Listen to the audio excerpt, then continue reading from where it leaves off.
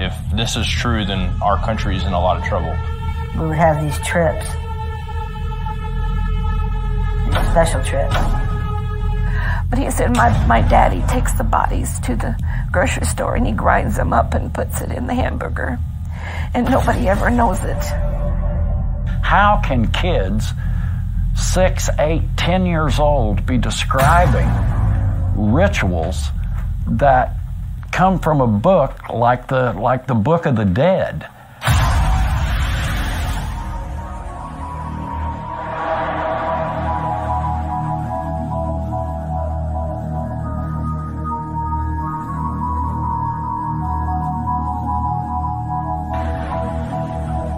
it's hard to get your mind around people being capable of this kind of evil. This is Dan Bidondi of TruthRadioShow.com. I am honored to offer my listeners a one month free subscription to NYSTV.org. Subscribers will have access to thousands of NYST TV videos from spiritual warfare to biblical and occultic topics, banned from YouTube videos, and much more. Subscribe today on nystv.org and use the promo code Dan the Man and receive your first month free.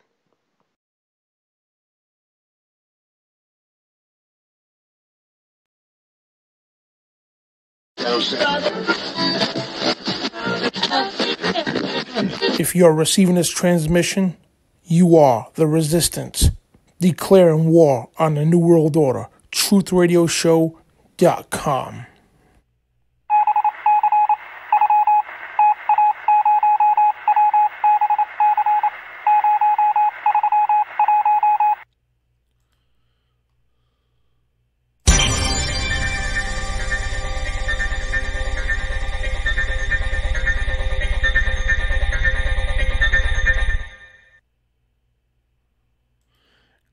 everybody, and that's actually good morning. Uh, it's 1 a.m. It is uh, May 22nd, 2021.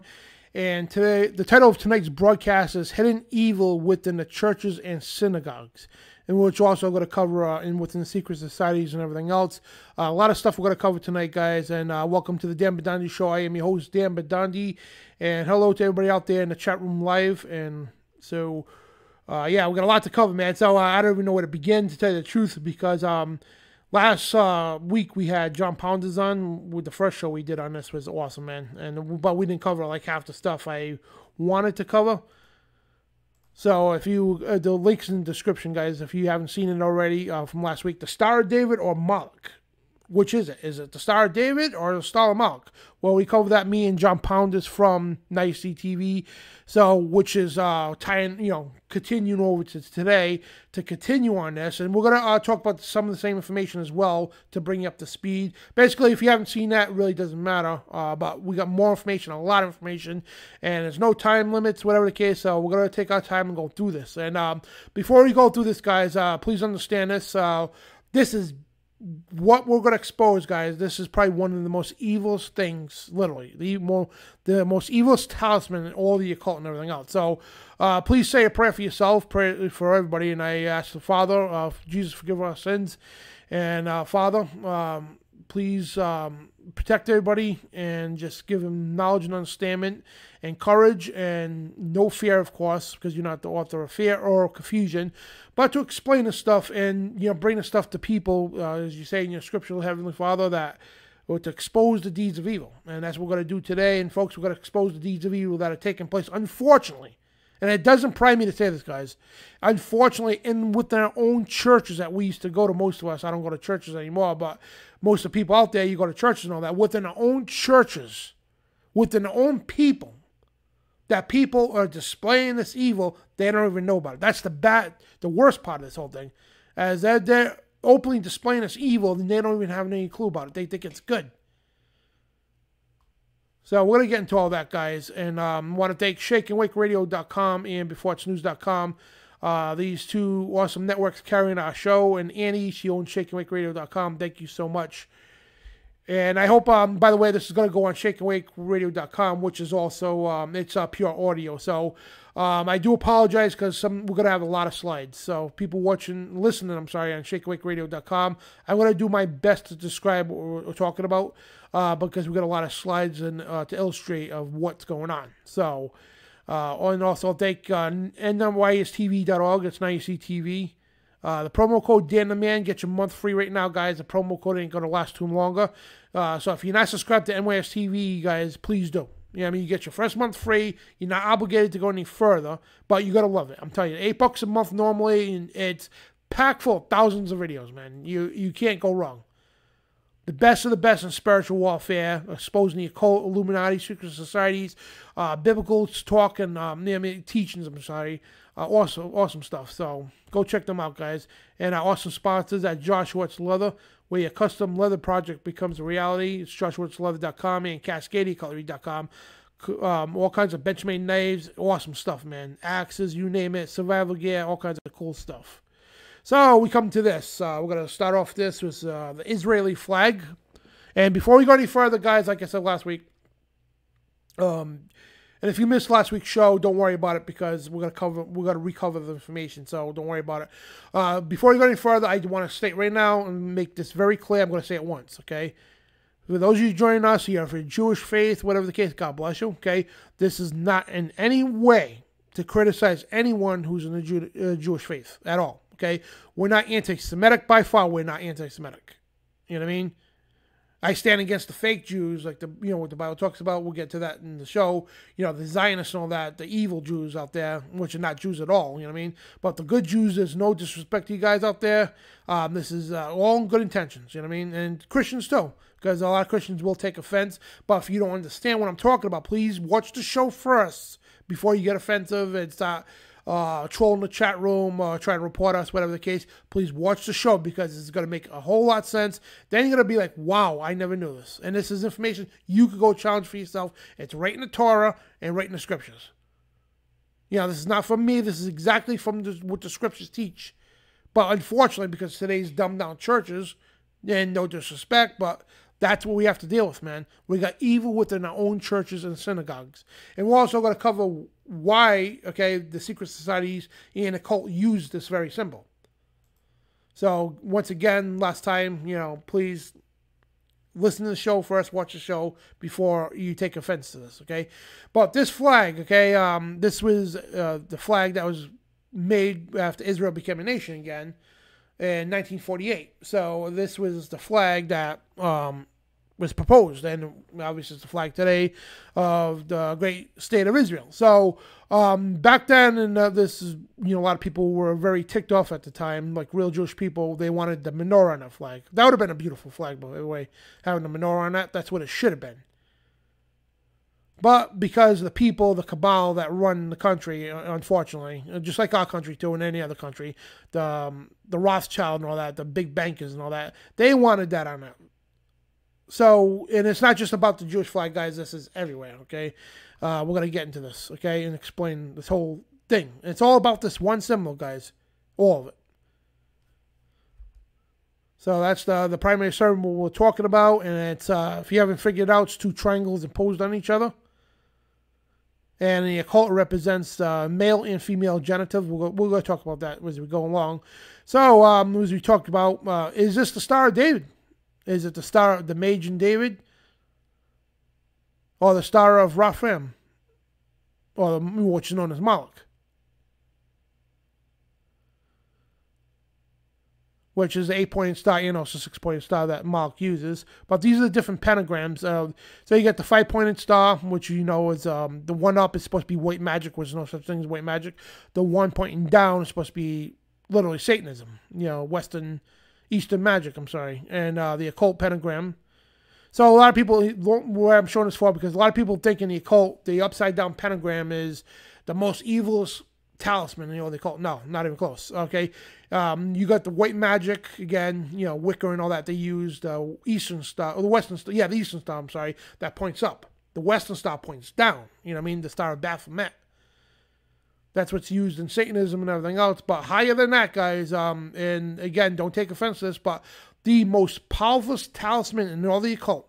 This is what they use in highest levels of the occult, the Illuminati and such, to raise demons and whatnot, unclean spirits, is the six pointed star, the hexagram. So now, before you take offense and say, How dare you uh, say that about the Star of David? Well, let's see what this says, okay?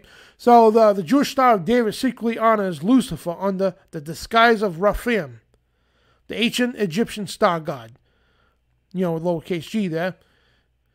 In Acts 7 39 and 43, the blessed martyr Stephen blasted the Jews, prophetically declaring, Ye, you took up the tabernacle of Moloch and a star of your God, with lowercase g, Raphaim, figures which ye made up to worship them.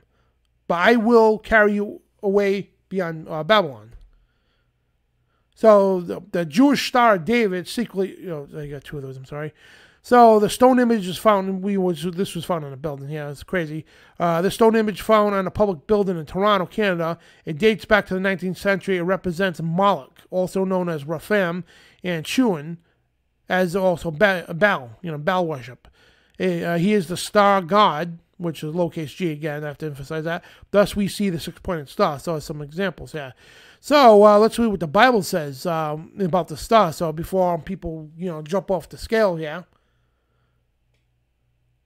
Okay, uh, Acts 7.43 says, Ye took up the tabernacle of Moloch, and the star of your god Raphim, figures which ye made to worship them, and I will carry you away beyond Babylon. Then if you go to Amos 5.26, which is also the Torah, but ye have bond the tabernacle of your God, and shewing that your image is the star of your God which ye made for yourselves. So why is people, you know, Christians, which is real, real disturbing, really is. Uh, why, you know, you see Christians everywhere wearing the Star of David, taking the honor in the Jewish faith and all else. And, and uh, you see some good Jewish people too wearing that star. This has nothing to do with David. Now, there's not one shred of scripture, neither from the Torah or the scriptures at all in general, okay? There's not one shred of scripture that remotely states that David had a star. Why? Because number one, the Ten Commandments. Okay, the second commandment: you don't make any images, graven images, uh, above or in heaven or the earth or below it. Plain and simple. This that alone would forbid David from having such a thing. David never had a star. Never claimed to have a star. And we're going to show you how this was implemented later on as um, they why they called it the Star of David. And this symbol was actually condemned in the Old Testament. You believe it or not, in the Torah, the symbol is actually condemned in the New Testament as well. And King David had nothing to do with the symbol. Nothing. So why on earth, are you all standing by it? Now I understand people do it, yeah, because you want to have respect for Israel and all that. Well, understood.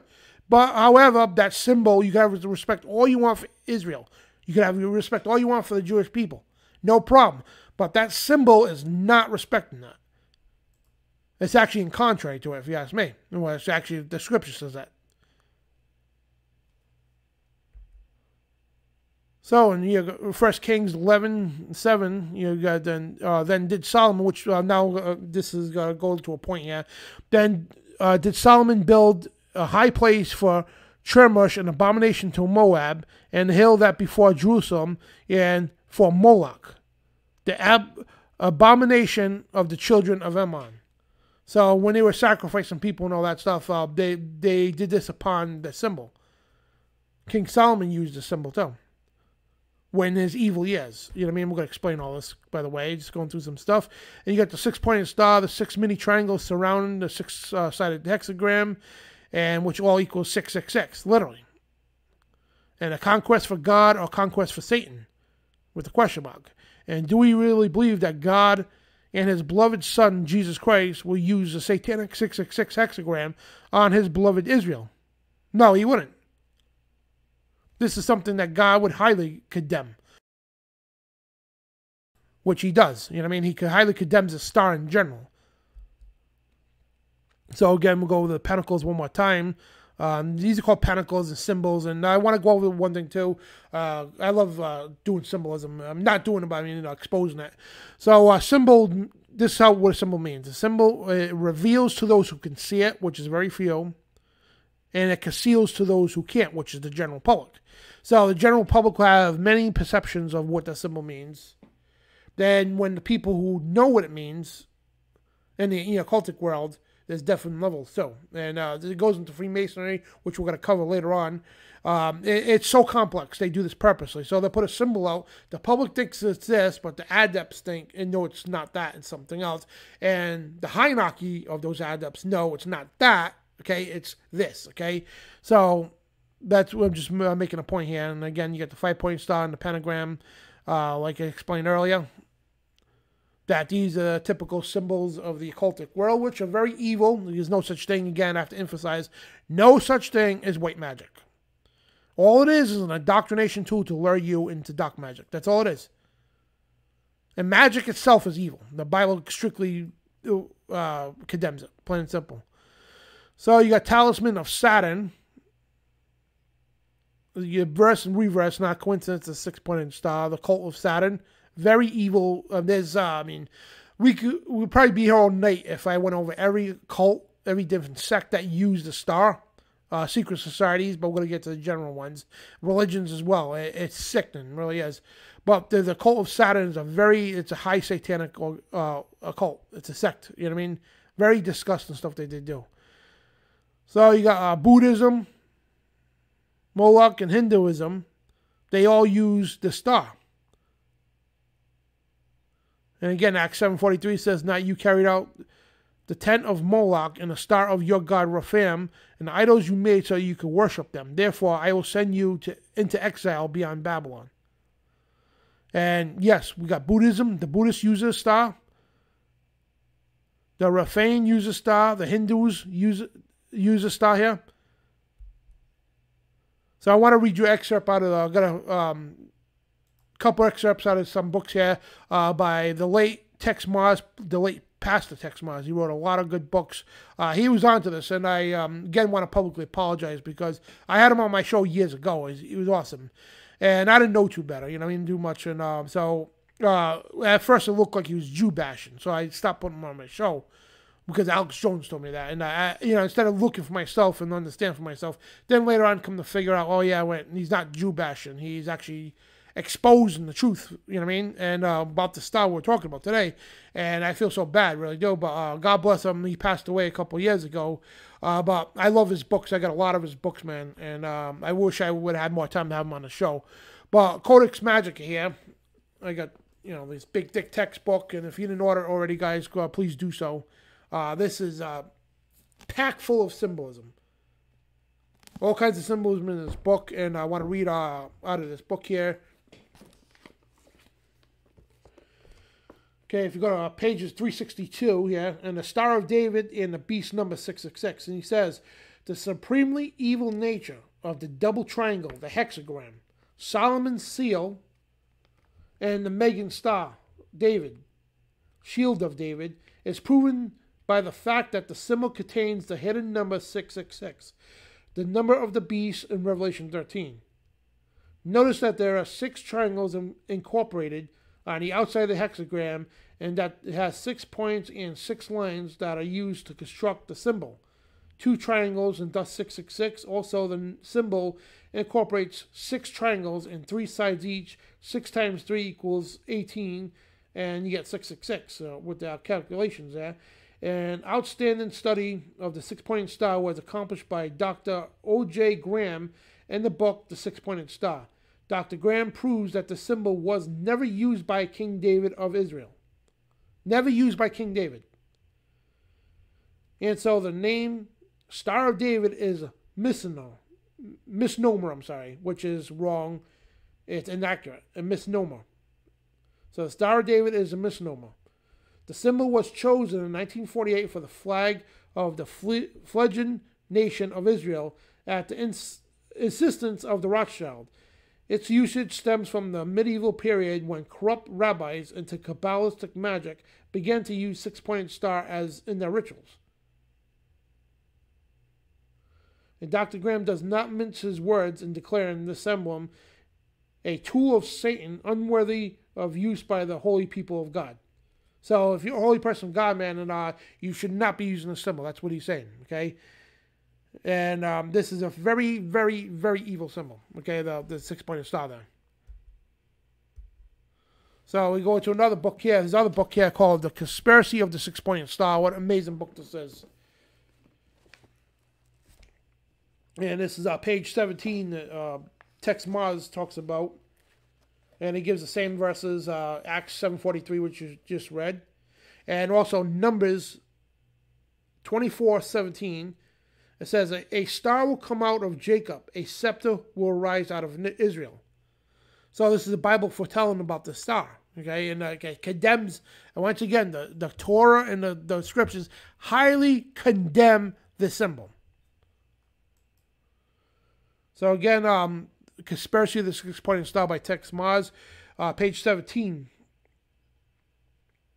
And the six pointed star, how simple the design is, how stupendous is the evil that it represents. The six pointed star is a supreme symbol of satanic tyranny it represents an oppressive and sophistical evil conspiracy and plot against God and humanity. Its origins can be traced all the way back to Babylon, and it was used to adorn the idols of countless heathen and pagan gods and goddesses worshipped by the tribes of peoples from Canaan and Samaria and Assyrian, Egypt, and Phoenicia. The six pointed star represents a philosophy based on blacklist of demonic magic, Witches and occultists in the four corners of the earth, planet Earth employ its magical device when the name, the hexagram, the star of Mr. Mephistopheles, and the Solomon seal. It is, in fact, the chief symbol that best defines culture, mindset, religion, and destiny of the Jewish nation. The six pointed star, predominantly displayed on the central motif of the flag of Israel, it represents the world Jewry their sickening excessive reservoir and ethic and national pride, as well as a long cherished but blood soaked campaign toward their goal of a kingdom of Jews and the founding of a Jewish utopia. So the Jews refer to this as a symbol, the Star of David, even though the scriptures make no reference at all of being the, that truth indeed. In the Old Testament, David, king of Israel, repeatedly declares that his shield was solely the Lord God. Because they said this is um, you know, the the star is the you know David's shield. No, David declared that God is his shield, not a star. You know what I mean? And um, it's sickening, really is. And we got one more reading here from uh, his other book here. It's called Conspiracy World by Texe Marrs.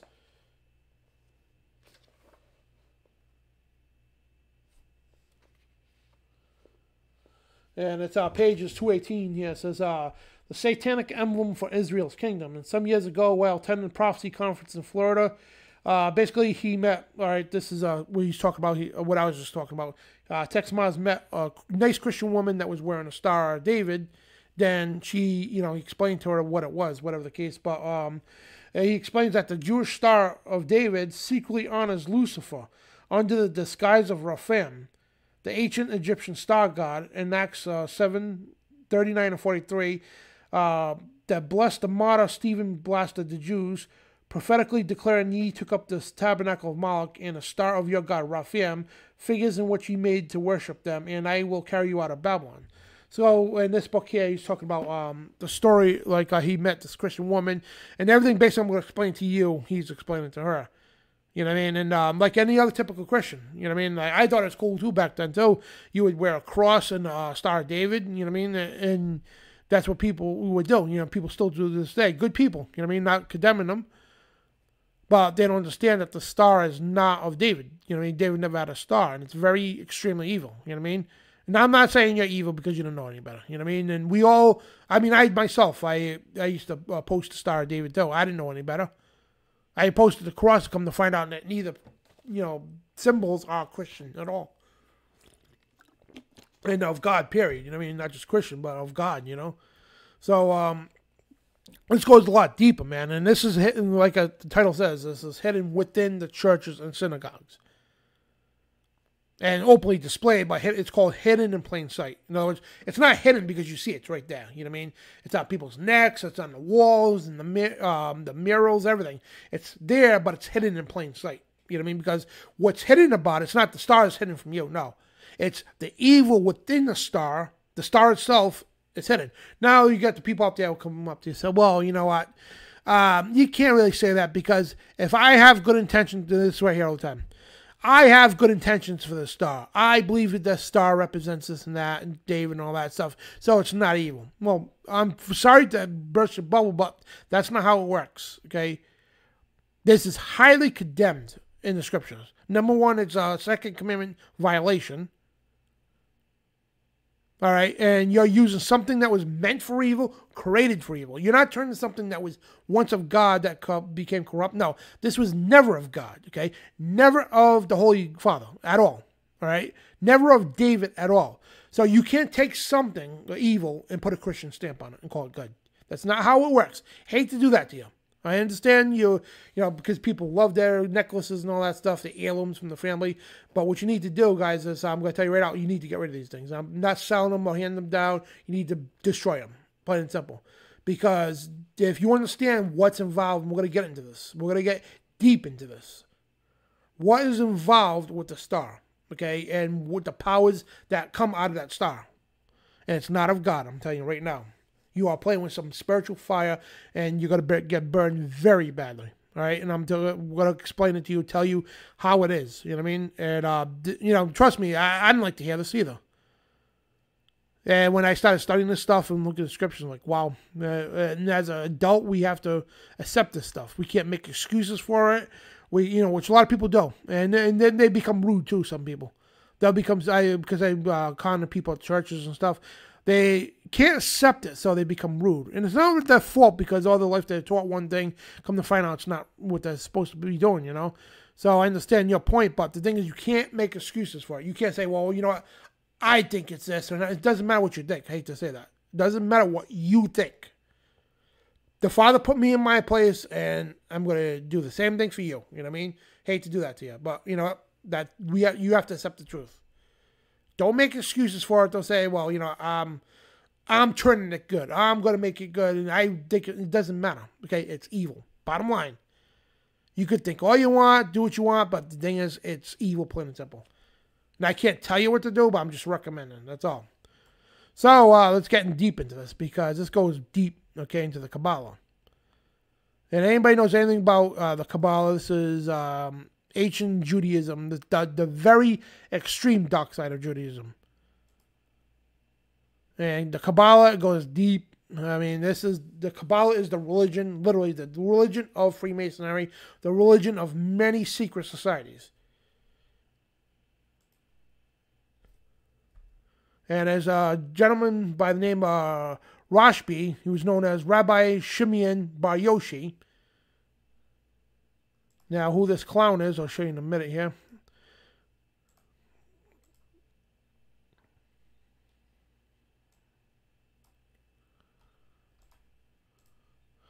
Okay, uh, Simeon Bar Yoshi. Okay, Simeon Bar Yoshi, also known as in his acronym as Rashibi. Uh, he was a second century Tannaitic sage in the ancient Judea, Judea, I'm sorry, uh, said to be active after the destruction of the Second Temple in 70 AD and he was born in Galilee of Israel and died at 160 AD. All right, uh, but this is the books that he created, and I'm going to tell you right now. And I know some I'm going to get viciously attacked by uh, a lot of these uh, he- Hebrew movement people.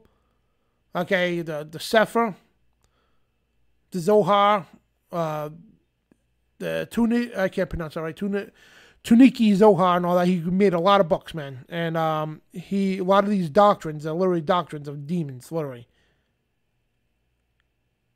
As you can see in the pictures there, and uh, so he was revered as this uh, great rabbi. You know what I mean? Like, and uh, he's the heart of Kabbalah, literally.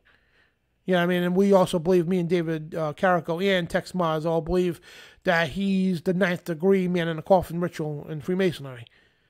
We're gonna we're gonna do a whole show on uh, Rabbi Shimeon Bar Yoshi because there's so much stuff he's involved with, so much uh, stuff. But I'm gonna tell you right now, this guy was anything but holy, anything but good at all. This guy was pure, unadulterated evil, plain and simple.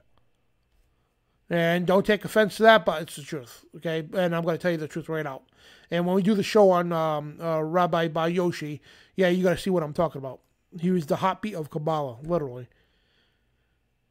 So you guys see the Kabbalah and um, the star in the Kabbalah. That's called the Kabbalah tree, the tree of life. And we're gonna do shows too, uh, and all the stuff we're gonna explain. Okay, guys, when we get to these different religions and cults and all that, we're gonna do tons of shows. Because here's the thing: if I was to sit here and tell you everything about the Kabbalah, everything about different religions and all, that, we'd be here all night. So we're gonna just uh, cover the gist of it, and we're gonna do shows in the future uh, on each of these religions and cults, and because it goes so deep, I mean, we could we'll be here to the wee hours of the morning and still not cover everything. But I'm just going to show you the what who uses and why the six pointed star. This is widely used in the Kabbalah, as you can see. Many uses in the Kabbalah with that, and uh, again, the the the star stand what it meant means for it is to put uh, God. Over, I'm sorry, man over God. We're gonna get to that in a little bit. How it explains how they do that because Satan, here's the thing: Satan claims what he's your liberator, right? He rebelled against God because God's the evil one, and this is what they teach in the Kabbalah. It's crazy. They believe that Satan's the good guy and God. And here's the crackpot about this: they they believe he's the same person. He's like a split personality, half Satan, half God, the same people. It, it's crazy, really. It's demented stuff, and they believe in the androgynous God, and they believe Jesus is Metatron, and they blaspheme the Holy Spirit too. By the way, to call it Sophia. They think the Holy Spirit is a female. We covered that. We did a show on that, and that's pure blasphemy. And this is with these people in Hebrew roots, not all of them, uh, certain parts of the Hebrew roots movement that do teach us. You know what I mean? Pure blasphemous. Pure blasphemous that to teach that the Holy Spirit is that. And, um, you know, when the scriptures say that the Holy Spirit implanted the seed into Mary, right? To bring Jesus into the physical world. How does a female plant a seed into a female? You know what I mean? it makes no sense at all. So these people blaspheme the Holy Spirit, and the scripture says, um, you know, Jesus says himself, you could curse me and you could be forgiven. You could curse the Father, you'll be forgiven. But if you curse the Holy Spirit, that's the unforgivable sin. And that's exactly what they teach and do. So we move on here. Another person that uses, um, and this is a very significant person. Uh, this gentleman, Aleister Crowley, who is known as the Beast. And if you pardon me, I got to uh, pull up the slide here because I can't see it on my end. I do this all the time. so this uh, guy, Aleister Crowley, was known as the Beast, and uh, he was a very, very prominent man in Freemasonry and many, many cults and secret societies. I mean, this guy had so many titles that he couldn't even memorize them all. Hang on a second, let me get to him here. So it's Aleister Crowley. Uh, he was um, born in October of 1875 and died in 1947. He was an English occultist, cer- ceremonial magician, poet, painter, novelist, and mountaineer. And he founded the religion of Thelema, identifying himself as the prophet entrusted by guiding humanity into the eon of Horus. In the early 20th century, a prolific writer, he published widely over the course of his life. So the Order of um, this is uh, one of many uh, societies. He also created uh, uh, Order of the Eastern Star, which is a women's group. The Rainbows. Uh, he created many secret societies. So the Order of Thelema, this is the star that they use here. That not a coincidence. It's a six-pointed star. It's just his version of the same pinnacle. He's also the creator of the uh, Knights and the Order of the Golden Dawn. And the order of Thelema there is do what thy will. You know, I mean, do what you want, literally. And it's like literally straight out of Satan's mouth. And I just want to bring this up here quick, and we could do a whole show again on House of Crowley, man. Uh, wow, you could do three shows on him at least, and you still wouldn't cover everything. But this guy was evil as they come. One of the most evilest men that ever walked the face of the earth. Not even joking. He uh, bragged about um, sacrificing young boys, having sex with them, doing ceremonial magic. His he created his own brand of magic. With instead of ending with a C, we ended it with a K. Very evil, dark stuff. And Order of Thelema was just one of many of his occults. And then, like I said, he was also Freemason. He was also in the Illuminati. Uh, many many secret societies belong to and all that, and uh, many degrees and all that. And this guy was all over the place. Literally, he's an author, this, that, and the other thing. And not to prompt him up as a, you know, to give him credits or anything, but uh, yeah, this guy was all over the place. Very known in the, I mean, and you know, he's the whole the whole thing in rock and roll too. You know what I mean? Like with um, this being injected into it, he was responsible for that too and that's why a lot of um you know if you uh, actually listen any Alice Cooper or is it Ozzy Osbourne, uh, I forgot which one of those two, but anyway they talked yeah a song called uh, Mr. Crowley. Yeah, we're, uh, we're gonna do a show. And I, I know he's saying we do all these shows, but uh, when I you know, the show we did, uh, I sold uh, my soul for rock and roll and it talks about all these artists who literally come out to say they sold their soul to the devil, made pacts with Satan and all that to become famous. And these are real things. It's not conspiracy theories, you know what I mean? And it brings back to Aleister Crowley. So I'm just making a point that Aleister Crowley is literally the backbone of many, many, many fake religions and occults and secret societies. And that star he used many different ways. And that's a star he also used in his uh, ceremonial magic too killing children and raising demons and everything else. Pure abomination. So there was a, another man named Eliphas Levi, and uh, we did a show on him as well. Uh, Levi, he was um, the Grand Master of the Order of the Knights Templar. He also used this as well. Re- to him, it represents as above, so below, which is a huge occultic term. And if you notice the Ouroboros, the snake, but in its own tail, that's ancient Luciferianism, ancient Satanism as it comes. And has many, many meanings, but all mainly the same of the star. And the star represents the male mounting the female. It's because everything they call it sexual perversion. We're going to show you that in a few minutes with Freemasonry, whatever the case. But it also represents, uh, represents as above, so below, because they believe in um, equality. In other words, just as much as good in universe as bad. You know, it, it's a balance. That's where the yin yang comes from, which none of that's true, guys. And these people actually believe, and, and again, they, it goes back to the thing that they believe Satan and God are the same person. You know what I mean? The complete uh, opposite, you know, and uh, equal. It's not like that. Evil is not nothing compared to good. It's not even a micro fraction, compared to the power of good. And everybody's going to learn that the hard way, that believe in that, they're going to learn that the hard way when uh, Messiah returns, and that's Jesus Christ. So Eliphas Levi, he used this, and he used also, by the way, the creator of the Baphomet, which he created the Baphomet off an uh, Egyptian horn god. We uh, we did we did a lot of shows on this stuff, guys, and uh, and I'm glad a lot, most of you guys have been watching my show for a while, so you kind of understand what I'm talking about. And I apologize if guys, if you if you want to know any of this stuff, we, we did a lot of shows on this, and it's not playlist there. Spiritual warfare, we did a lot of shows on these people and these religions and everything. So uh, let's point out what these star where the, the star is used. And Eliphas Levi, he was um, again the Grand Master of the Knights Templar. And if you think the Knights Templar Christian organization, man, you better stop watching the History Channel. Turn that History Channel off because Nothing at all to glorify the Knights Templar. And I see Christians out there too, just as much as the star here, right? I see Christians out there going out and buying shirts that says Knights Templar and all that and thinking they're the, the protected Christians. No, they killed Christians and Jews during the Inquisition. They were the Pope's henchmen. Um, there's so much blood on their hands, and these people were perverts, man a lot of homosexuals, and uh, they did occultic magic. No, they were not at all the protectors of the cup of grace. Anything like that. No. Don't let Hollywood or the National Treasure movies fool you to glorify the Knights Templar. Hollywood loves glorifying the Knights Templar. The Knights Templar are nothing Christian at all. I'm telling you right now. Nothing Christian about the Knights Templar. And I know that's a high pill for a lot of Christians as well, because I see uh, friends I know, they love that Knights temple stuff because they think it's Christian or something like that. No, no, no. Uh, wait, you go watch my shows on that one too. But Eliphas Levi, he watched, uh, he revered this. And the Church of Ezekiel, which is, uh, yeah, the mockery of the real Ezekiel, but they call him Adonai, you know, God, and that's the symbol they use as well. Not a coincidence; it's an occult. So Freemasonry, yeah, you could barely see the symbol. So Freemasonry, like I said, is a square and compass. That's a generic logo. And again, it's a square and compass, and with a G in the middle.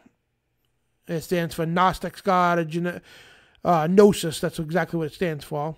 There's many meanings, and they said Grand Architect, whatever the case. But the G is Gnosis. You know, so again, going back to the Knights Templar ages and all that, and um, the Gnostics group, in which way, by the way, guys, the Gnostics were not at all Christian. I mean, they're not, and if they Gnosis means Gnosis means truth. You know what I mean? Not truth, uh, enlightenment, enlightened ones. They were the what the Illuminati were today. You know what I mean? Exactly what they were. They were pathetic liars and all that stuff. They caused a lot of deception. Nothing knowledge about those people. But this is all into Freemasonry too. It all ties in together. That's what I'm trying to make a point. It's complicated, I understand. All this ties in together. So, and again, this is um, in the cult is a perverted image. So it represents the man mounting a girl and penetrating her, literally. And that's why they call it the G spot. Not a coincidence. The G spot in sexual, yeah. That's exactly, that's a perverted symbol as it comes. And yes, that is um, a short version of the, the hexagram, the Kabbalah star. Because there's a free Masonic temple right there, right on the temple. There's a Masonic, uh, Masonic, uh, this you know, called the Seal of Solomon, the Star of David. And then everything in the, the Freemasonic Lodge is all about the Temple of Solomon. They revered King Solomon. And what you're looking at here is uh, the two pillars of Jachin and Boaz. And right in the middle is that God, literally, Lucifer, Baal, Moloch, the Kabbalah star. That's the, the religion of Freemasonry. And don't let anybody kid you any uh, different, okay? Yeah, of course, the Freemasonry, they got a lot of questions of Freemasonry. They got a Bible on the altar when you go into Freemasonry, but they don't show you under the floor when they have the blazing star on the floor under that altar.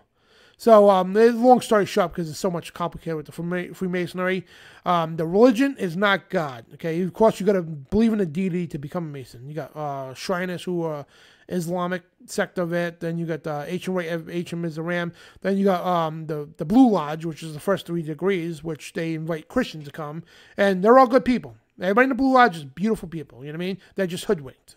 In fact, uh, to be honest with you, about 80 plus percent of Freemasonry are good people. And again, they're just lied to. You know what I mean? And as they go up the ranks, they're getting taught, you know, they, they get taught one symbol, uh, these certain symbols, and they get lied to purposely. And if you look at the readings, Albert Pat, uh, Mackey, uh, well, it's Albert Pike, um, Manly P. Hall, uh, said that the initiate is intentionally lied to every step of the way until they get to where you want your baby. Because in Freemasonry, they believe you're a you're a block, right? And they're gonna carve you into that perfect cornerstone. So basically, you're and they want you to be Christian or some deity. And if you're a cultist man, you will fly through the ranks of Freemasonry like nobody's business because that's exactly where they want you to be. But they bring Christians in, tons of them, because number one, it funds the whole operation, because all these people are paying initiation fees at the bottom. They're paying do their dues and rituals and all that stuff. So then it's the that's where the pyramid scheme came from. The business pyramid scheme, that's where it came from. So the people who sit at the on top of Freemasonry, they're there sitting back smoking cigars and collecting money from all the people with their little initiations and everything else, and uh, and uh, degree fees and all that. But the religion of Freemasonry is exactly that. It's the Kabbalah. Don't let any Mason tell you anything different because they don't know any better. And the other thing to do is the ones who do know better, they will never tell you anyway, even if it's your family member, because they take that oath seriously. They take blood oaths to uh, keep it secret. They will never tell you that the religion of Freemasonry is Satan himself, literally. It's the Kabbalah. So there's another Masonic temple right there. And right at the top, look, six pointed star. What a coincidence. Another Masonic lodge. Look at the bottom windows there. All four of them, six pointed stars. The Seal of Solomon, the Star of David, which is not the Star of David. And yes, uh, Solomon used it because this star goes all the way back to Babylon, by the way. It's very evil, plain and simple. And when Solomon became corrupt, he uh, venerated that star too. That's why the temples use them for. And look at that. There's another Masonic temple. The star right in the middle. of the two pillars, and the two pillars again represent Jachin and Boaz. And what that means that that's uh we that's a whole show altogether, man. Just the temp uh the pillars of Jachin and Boaz. It represents male and female, late dark, as above, so below, all that. Crazy stuff, man. And um yeah, and then there's the Masonic uh symbols, which is the same thing, but you know, again, it's a male mountain, a female. Perverted as it comes, guys. And look, uh, going to the Catholic Church. Oh, there's the Pope right there. Oh, what a what a lovely star on his hat, huh? The mitrate, the fish hat, the fish god of Dagon. Because the Bible talks about that too. The the hat of the priest that wear the hat of Dagon. That's exactly what the Catholic Church is. It's a Babylonian church, nothing to do with Christianity. And look at the red crosses on us. That's the cross of Baal. That's not a Christian cross. The red crosses on his lapels, that, that's the cross of Baal. You see that all over the Catholic Church. But looking on his mitrate, the hat there, there's a six pointed star with the old CNI right in the middle. Again, hidden in plain sight, guys. Hidden within your. And how many Christians that like the Pope, how many Catholics, okay, that have seen this on that priest and all that stuff and don't even see it? They see it, but they don't see it. How many pastors out there? How many priests rabbis is uh, that wear the star. They're in your churches and synagogues and all that. And again, right there, you see it, but it's hidden. It's evil hidden within the churches, synagogues. Right there in your face, plain and simple. And it's not the Star David. He did. The thing is, the Pope knows it's not the Star David. They tell everybody, "Oh, it's the Star of David," and they think it's glorifying the, uh, the Jews. No, it's not. Not at all. Not even close. He knows exactly what that star is. But the masses don't. You know, again, it reveals to those who can see and conceals to those who can't. That's what a symbol means. It has many meanings, but only very few at the top know the true meanings of each symbol. To him, that's that's a star of Moloch. That's just the Kabbalah star. That's the star of Babylon. He knows that. Okay, he knows damn well what that star is. He knows it's nothing to do with David or God. There he goes, the image of Mary, and look in the background, six-pointed star. And it's not Mary, by the way. When you see these in the Catholic Church, I want to point out that out. When you see images in the Catholic Church or statues, and I hate to uh, offend people like that, but you know what? That is not Mary. What you're looking at is you're looking at Isis, which is uh, Semiramis. She was the queen of Babylon, known as the mother goddess, and she uh, fake claimed the immaculate conception with Horus, which is Tammuz, which uh, wasn't fake because her, she married her own son, her first son, which is um uh Horus. I mean, not Horus. I'm sorry, uh, man. Uh, all these names today, man. Nimrod. Okay. Okay, she married her first son, and uh, she got pregnant by her first son, giving birth to Horus. Okay, Horus wanted to be a mighty hunter like her, his father, Nimrod. There you go. You know what I mean? And uh, but the thing is, that Babylonian religion, and where they they were rulers what Babylon. So when you see that in the Catholic Church, guys, that is not who you think it is. It's not Mary, the Mother of God. And when she holds the mother with child, that's called the Madonna. Right? That's, again, Isis, which is Semiramis, holding Tammuz, the so called sun god. Osiris is uh, the, the father there, which is, uh, by the way, Osiris is, um, sorry, I don't mean to confuse you all, okay? um, which Nimrod was known as uh, Osiris, okay, because a lot of people know him as Osiris, and Gilgamesh too. It's the same person. They, they these guys have many many names to ancient cultures. Like the Eastern religions make it confusing. So all the Eastern religions out there have the same people, but they have different names for them. Uh, Nimrod's known as Gilgamesh, known as um, uh, Osiris, many other names. Okay, to the Eastern cultures, because when Babylon split apart all these people that went their way, they took splinters of the Babylonian religion. And of course, they had different confounded language and all that, the angels did, and for the people. So they took different names for the same people. That's what I'm trying to get at, okay? So what you know in Nimrod in the Bible, he was known as Gilgamesh. He was known as uh, Osiris. His wife Semiramis, which was his mother, disgusting, right? His mother, uh, Semiramis, was known as Isis, the queen goddess uh, of Babylon. And you know uh, the Bible says Nimrod was a mighty hunter, and he was. He was a Nephilim. He became a Nephilim. We don't know, how he did, but he became a mighty man, huge and everything else. So his son, because he was killed by his uncle Shem because he was a damn tyrant, so his uncle uh, Shem killed him.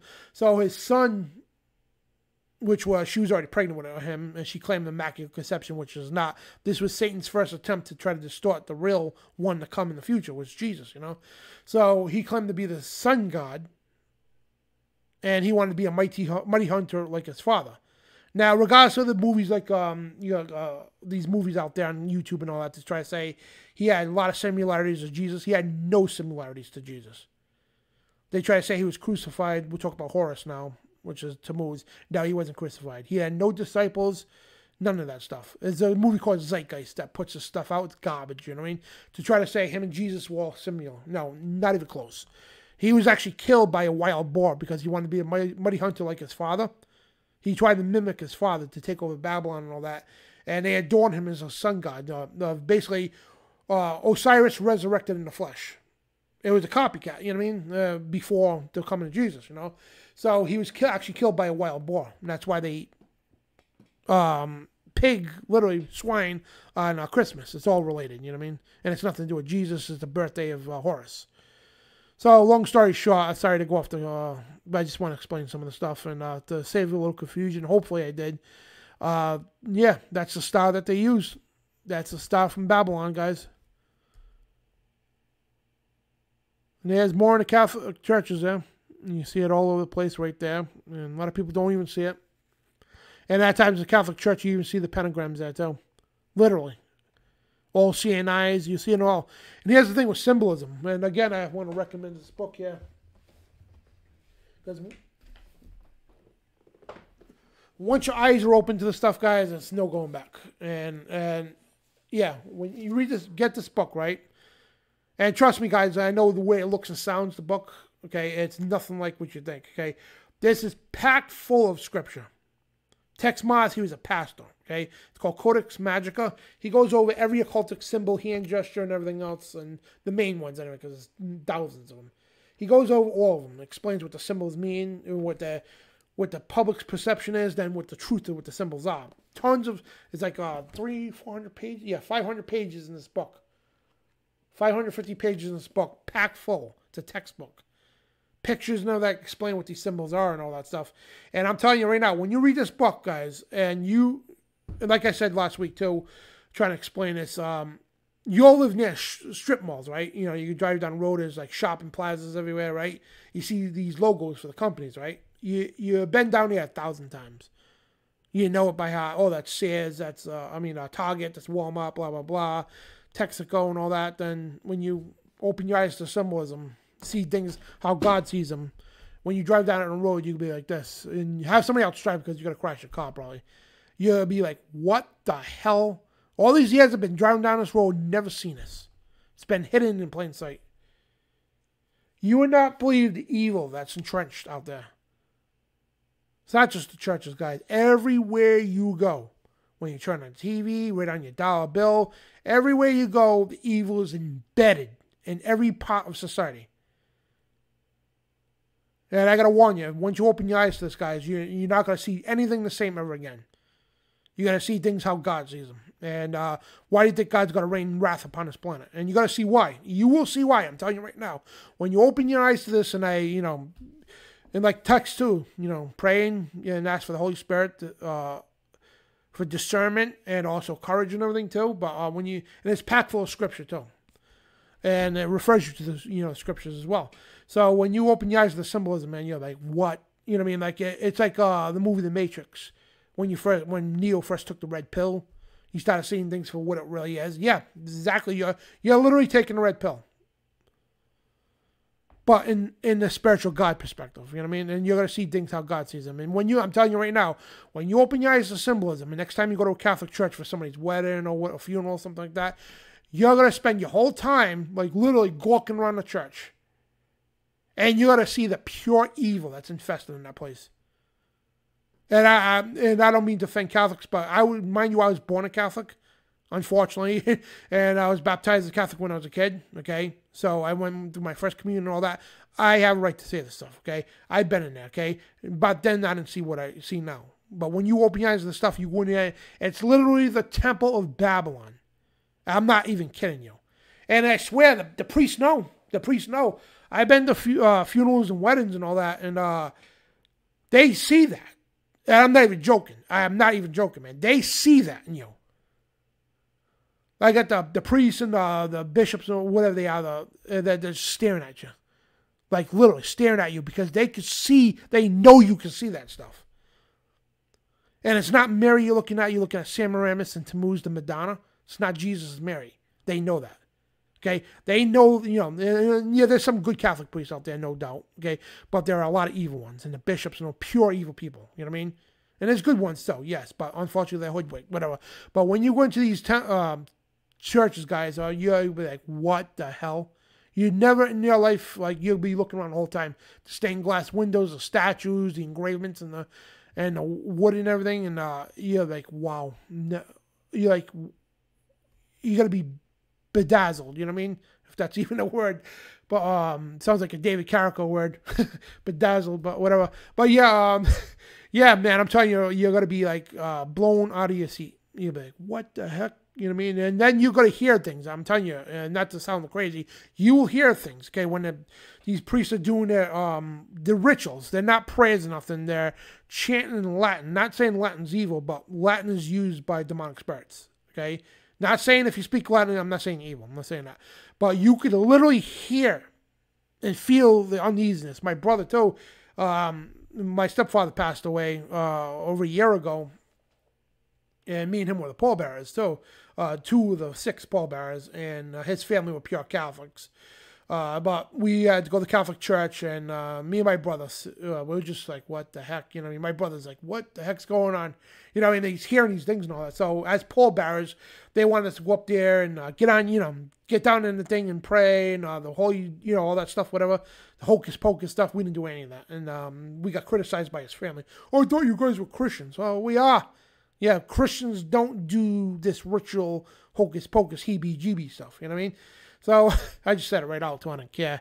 So um, because it's not of God, you know what I mean. And uh, you can literally see in the churches, guys. Uh, yeah, you can literally see this stuff. You can feel it. You could hear it. It's crazy, man. My cousin Mike got married, and um, I was his um, usher, right? And uh, and of course the the wedding party had to you know do the rituals and all that, and um, you know all that stuff, whatever they do. I didn't do any of that. I didn't kneel down, nothing like that. Then family criticized me. Oh, what did you do out of respect for him? It's like, no. It's like, uh, he already knew ahead of time anyway. I told him I'm not doing it. He didn't care. But um, his wife's a Catholic, so he she made a big deal for them to get married in a Catholic church. But uh, yeah, it's like, I'm not doing it. And he understood that. But a the family, oh, you should have done it out of respect I'm, I'm sorry, I'm not going to go bow to the temple of Baal, you know, for respect for somebody. You know what I mean? And I uh, been in a lot of I've been in a lot of wedding parties. I've been a pallbearer for many, many. I carried more dead bodies than I could count, literally. And um, yeah, I've been in a lot of wedding parties and all that stuff too. And most of them been in Catholic churches. And I've, uh, especially after I woken up and stuff, I've never, after that, even remotely, did any of that stuff. You know what I mean? Especially when you read uh, passages at funerals. You know, they want you to come up to the altar and you're supposed to bow to the altar and all that stuff. It's like the the priest told me you got to bow. It's like nope, I don't bow uh, to the temple of Dagon. he just looked at me, you know what I mean, and uh, and I only bow before the Creator. That's it, you know what I mean. And and I read my passage, and they want you to read the passage to get it down, but I I didn't. I read the passage, then I started preaching Jesus. You know what I mean, and uh, they didn't like that too much. Uh, they did not like that because I was encouraging people to don't don't mourn over this guy. Yeah, do your mourning, but you know he's gonna be with the Lord. You know what I mean?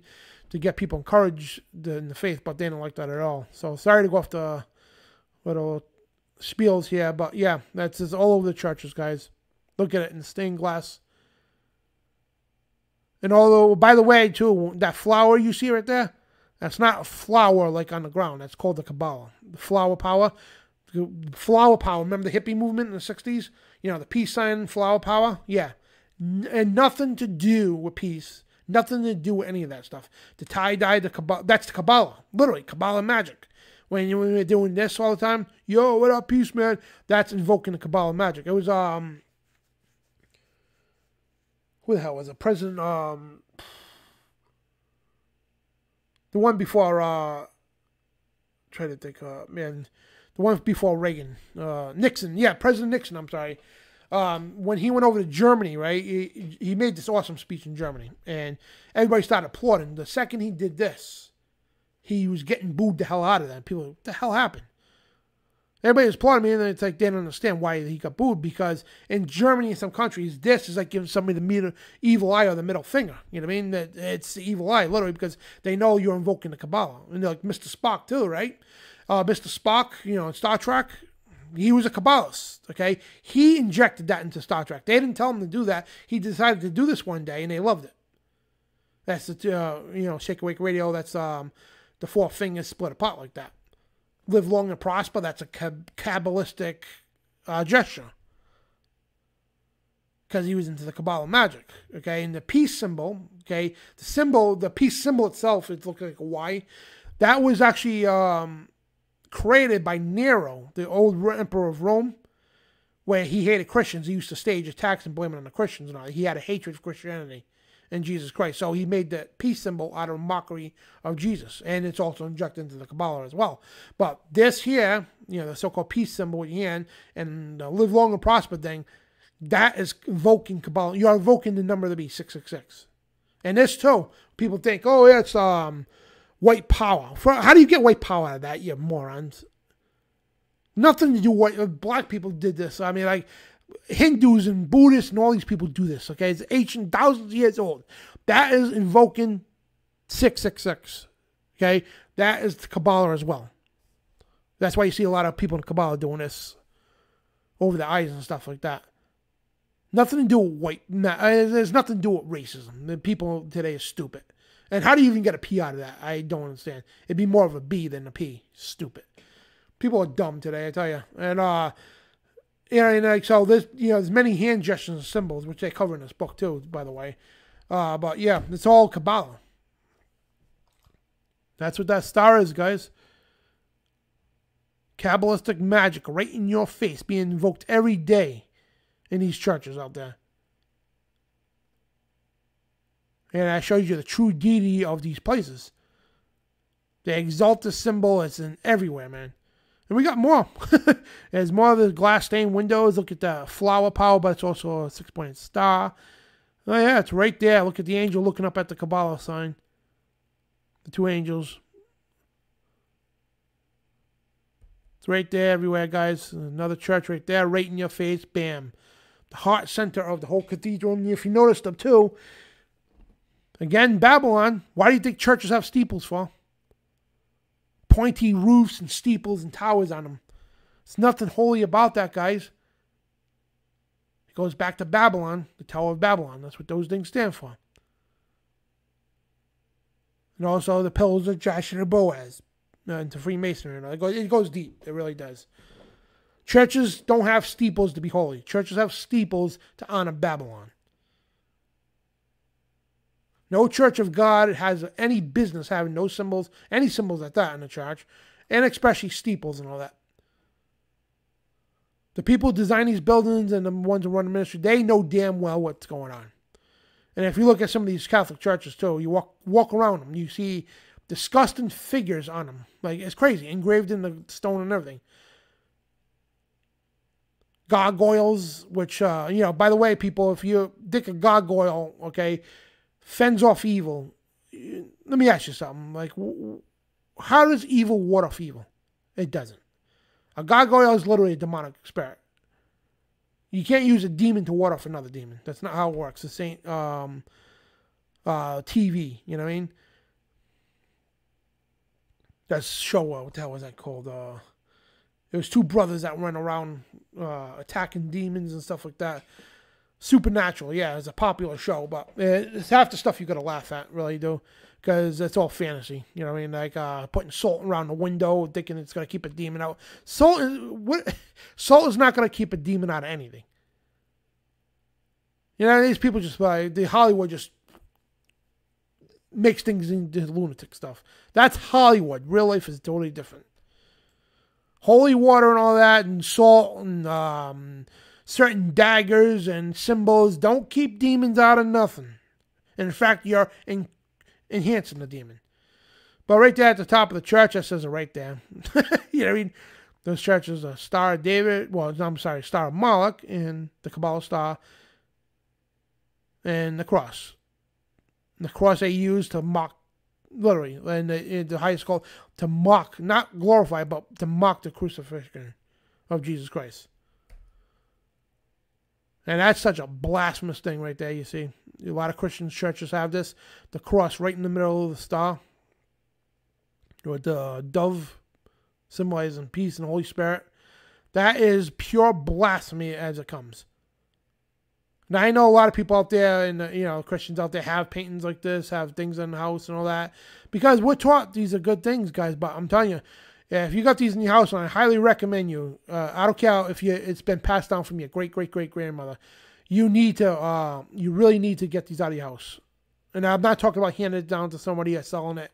I don't care how much is what you need to destroy it. That's my recommendation. I can't tell you what to do because you have no idea the spiritual ramifications that you're putting upon yourself, the people in your house, and especially if you hand it down to somebody else, that you got to inflict upon them. No idea the evil that comes out of it. And people say, how could that possibly evil? Look how beautiful that is. Well, exactly. Where's Lucifer, though, right? Appears as what? An angel of light. Angel, angel of knowledge and glory and uh, beautiful splendor, right? But it's deception, guys. This is why it's called spiritual warfare for a reason. It's a bitter pill to swallow, and uh, it's not it's not easy. And this is the promise of the seven churches of Revelation, the Teria. And again, they use that. And again, they also that reminds me too. Um, the stars that they put the, the Germans, man, they put the gold stars on the Jews in the camps to mock them, and also to have mocked, and also Yeah, uh, they the, the, the top the thing is here's the thing what people don't understand with Hitler. Hitler was not a Christian. He was he grew up as a Catholic, yeah, but he quickly we me and uh, Gary Wayne, uh, the Genesis Six conspiracy author, me and Gary Wayne did an amazing show. It's on my channel. We actually got to redo it because the sound was a little quirky. Uh, about um, exposing Hitler and uh, the Third Reich and the Nazis, and they were not Christians at all. Uh, Hitler was um, became fascinated with the occult he learned from the likes of Aleister Crowley, uh, especially Madame H.P. Blavatsky. He studied all the occult and he created his own from Theosophy to, uh, what the hell was it called? Uh, hang on, guys, I'm going to get the. Oh, I mean, I just lost my train of thought. I'm sorry, guys. It's been a long night. Hang on, let me get that right because I hate hate being um,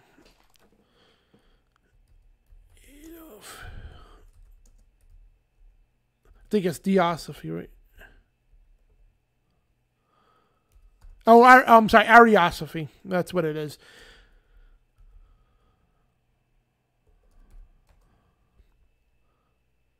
So this um, he created this called Ariosophy. So uh, this is Adolf Hitler and his, his people around him. They were so fascinated with the cult, they uh, created their own version called Ariosophy. It was a mix of all occultist, all occultic, esoteric teachings and um, Eastern religions, all mixed into one. Also, New Age too, and uh, also too as this shows too. Uh, uh, Hitler belonged to the Thule Society and um, the Society of the Black Sun. Man, it's hard to remember stuff. Uh, it says there's so much stuff involved, man. Um, so it's, it's like hard to remember all the things here at once. But uh, yeah, he was uh, a member of the Thule Society and the Vril Society too the Vril Society was very, oh man, very crazy stuff, man. And the um, Thule Society, it's not a coincidence that the swastika, right? The swastika that he used, and Hindus used it too, that's the symbol of the black sun. Why would they have a black sun? Because it's hot. What wouldn't be known today as satanic to the core, like big time. Uh, these were very like a sort of like a sex of Illuminati type organizations, secret societies. I'm sorry, they're very occultic evil. So I just wanted to point that out there uh, before people thought, oh, well, you talking about? Uh, he was a Christian. And that's why he put stars like that on the Jews, purposely. Number one, to mock them and to evoke the Kabbalistic magic upon them. Nothing to do to honor them, and of course, he didn't honor them. That's why he put these gold stars, the six point star, on the Jews. Sickening, man. And had some necklace uh, people wear, you know, the star with the um, cross in it. And look at this. Uh, this is uh, Jehovah Witnesses. No, Church of Mormons right there. Look in the window, six pointed star. The Latter day Saints of Jesus Christ is the Mormons.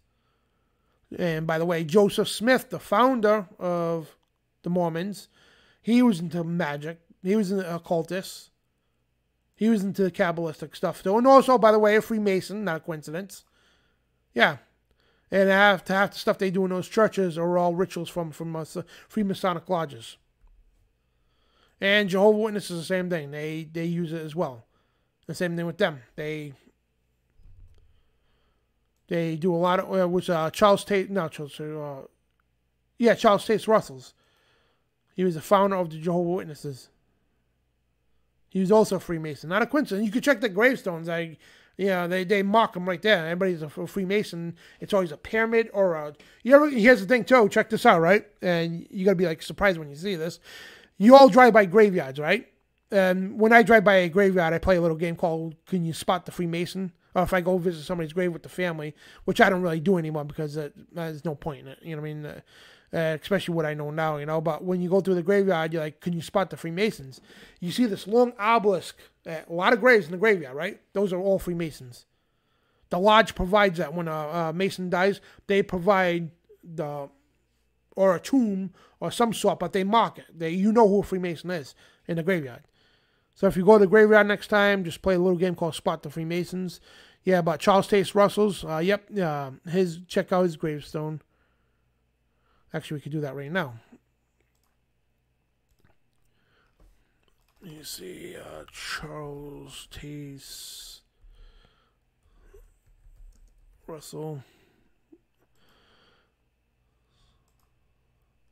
Check that out. Uh, Little Pyramid, all CNI. Check that out. That's his uh, grave.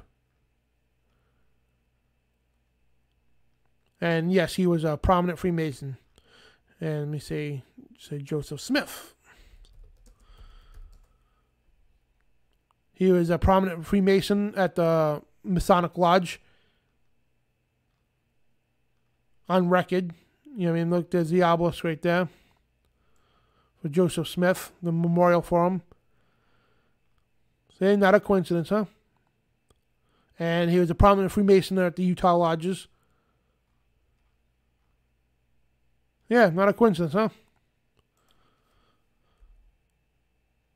There's right on that tent stretch, yeah. Uh, the, the six pointed star.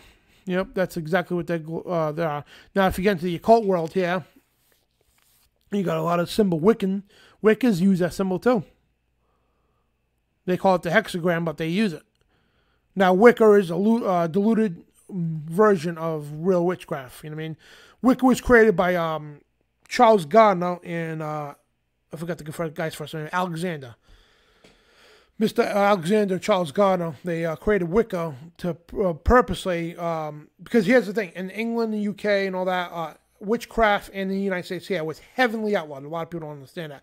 Witchcraft and Satanism was heavily outlawed in these countries for hundreds of years.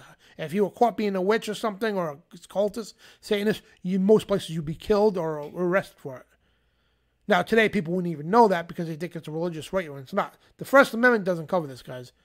It says religion, not cults. Because cults historically kill people and harm them spiritually and physically. That's why they were heavily outlawed for hundreds of years, even in the United States. So what happened was um, Charles Gardner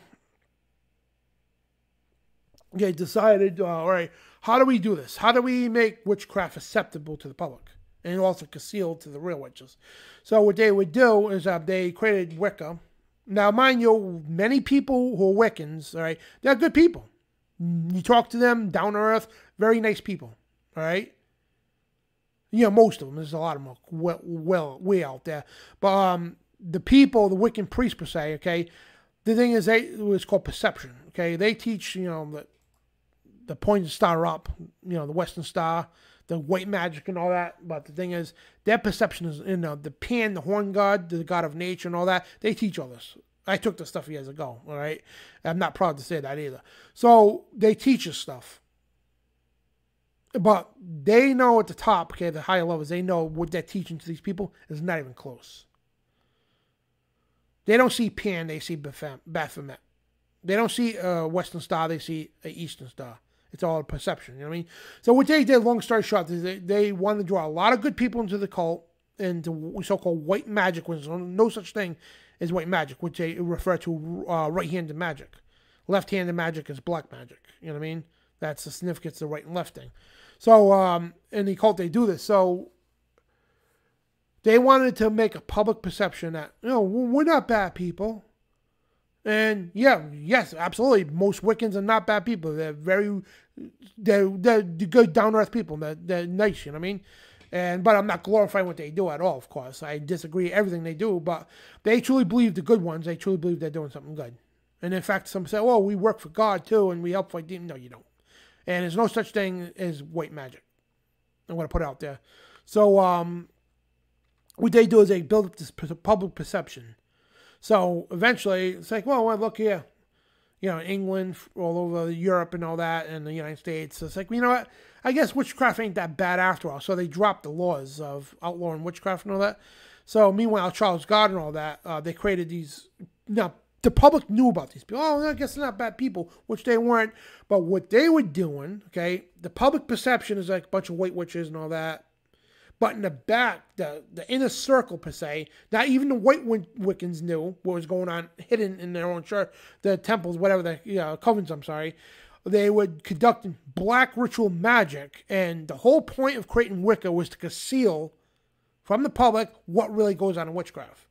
And again, not even the people in the white uh, part, the left, the right hand of the path, didn't even have a clue that their teachers were doing this black magician stuff.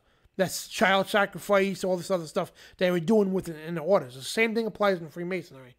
Most of the Masons, you know, the Blue Lodge especially, think it's a glorious thing. The public knows about it. They, you know, no, there's nothing wrong with them. They're part of history and everything else. But it conceals to what really goes on in, in orders that not even most of the Masons know about. Same thing Wicca. Most of the Wiccans have no clue what goes on in, in an order. And it was meant to legalize literary uh, witchcraft and put in a pen as a then the same thing also uh, the uh, Satanic Temple, Lucien Greaves and um, Anton LaVey's uh, Church of Satan. They did the same exact method. Created these churches. And look, oh, Satanists are not bad people. In fact, we don't believe in Satan, which is a complete oxymoron altogether. They believe more of a psych science view, like Scientology with L. Ron Hubbard. That guy's a lunatic too.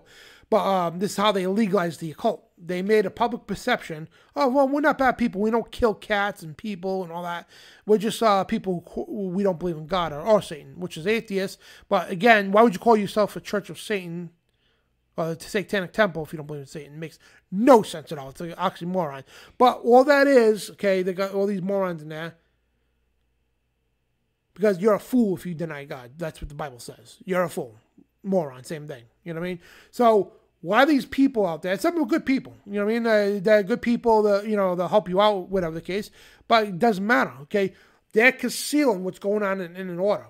So the Satanic Temple, Church of Satan, oh yeah, look here, bunch of atheists. No, the people who run the place know damn well it's nothing to do with that.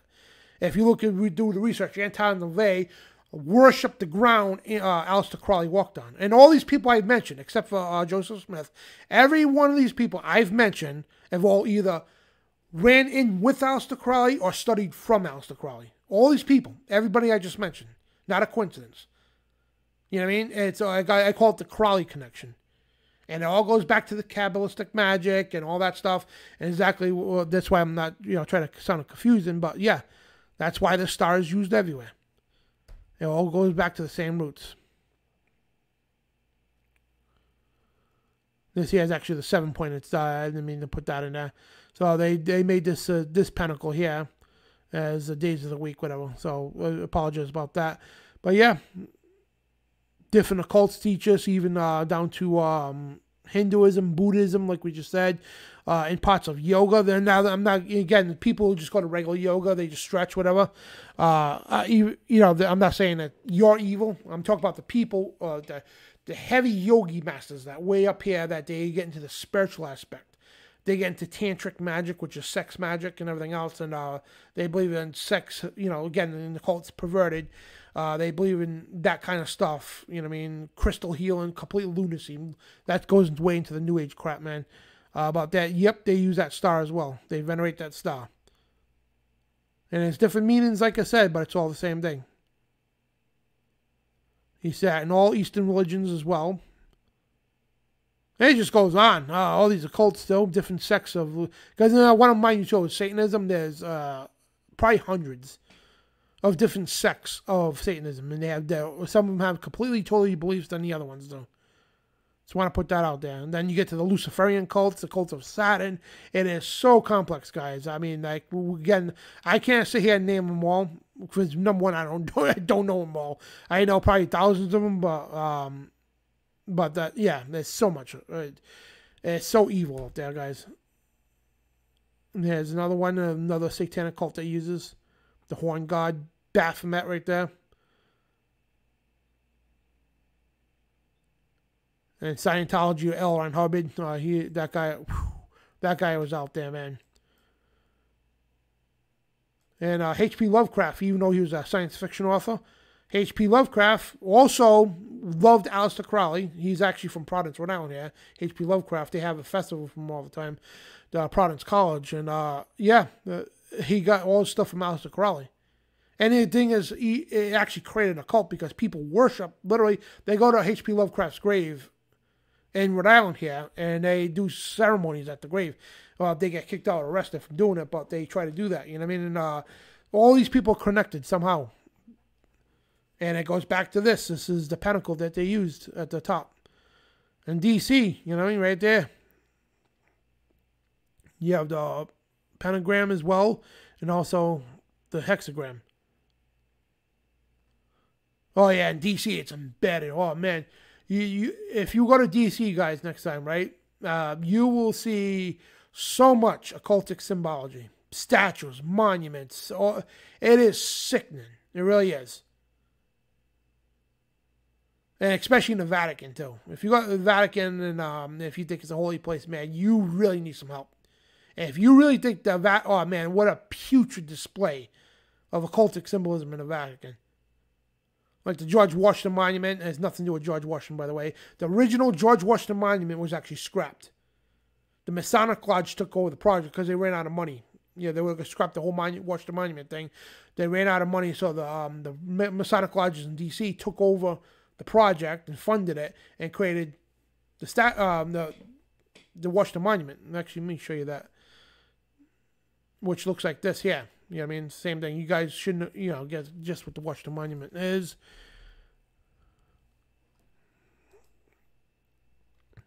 It's Washington Monument, and uh, that's uh, it's not a coincidence. Check this out, right? From the ground up, it's 555 feet tall, but obviously it can't stand there on its own. It's got to have a foundation, right?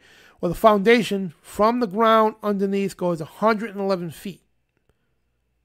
This way, no winds could tip it over, whatever the case. You know what I mean?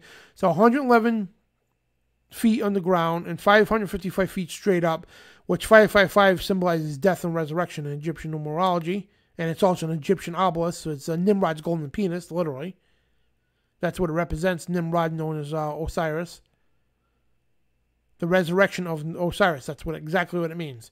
And the 111 feet under, 555 up, at 666 feet, this monument is in total. And they built a reflecting pool from here to the Capitol building. And if you notice, the Capitol building is a dome like building. If you look up in the ceiling, it means they actually. Inside. Oh, wait a second Ceiling of U.S. Capitol Building Rotunda, right? If you look up in there, you gotta see all these angels. Well, they look to be angels, right? They're pagan gods and goddesses, all up in there depicting heaven. And see those stars, like there's exactly 72 of those around there. And uh, there's also the Rosicrucian symbols right there too. That's a whole new order together, the Order of the Rosy Cross. But yeah, and uh, let me show you the Capitol building, the dome, the whole DC layout. Let me see. Uh, how would I put that there? Capitol building. See how it's like a dome? It represents like a pregnant belly. Capitol building, reflecting pool. So this is what they built it and how they believe this is, right? Check this out, right? And let me see. Uh, Washington. See if I get a good picture of this because I gotta show you this is gonna blow your mind.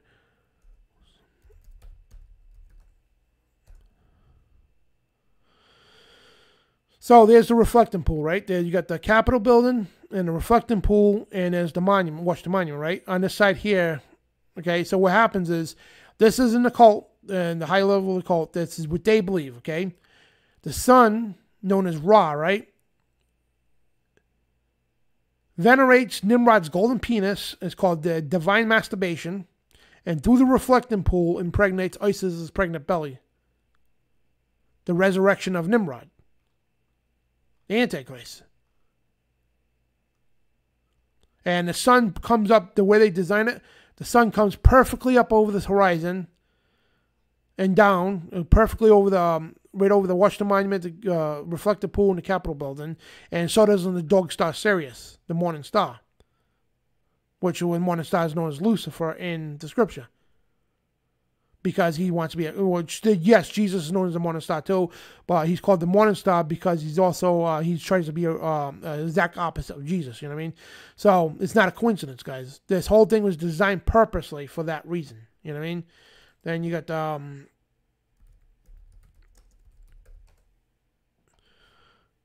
this whole thing same thing this obelisk here they have a cross on top of and St. Peter's Basilica, which he wasn't, you know, that's not the St. Peter you're thinking about. But yeah, this this was dug up from the sand of On, the ancient city of the sun.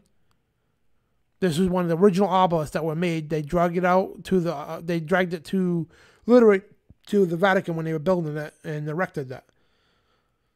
And this is a giant astrological sundial here.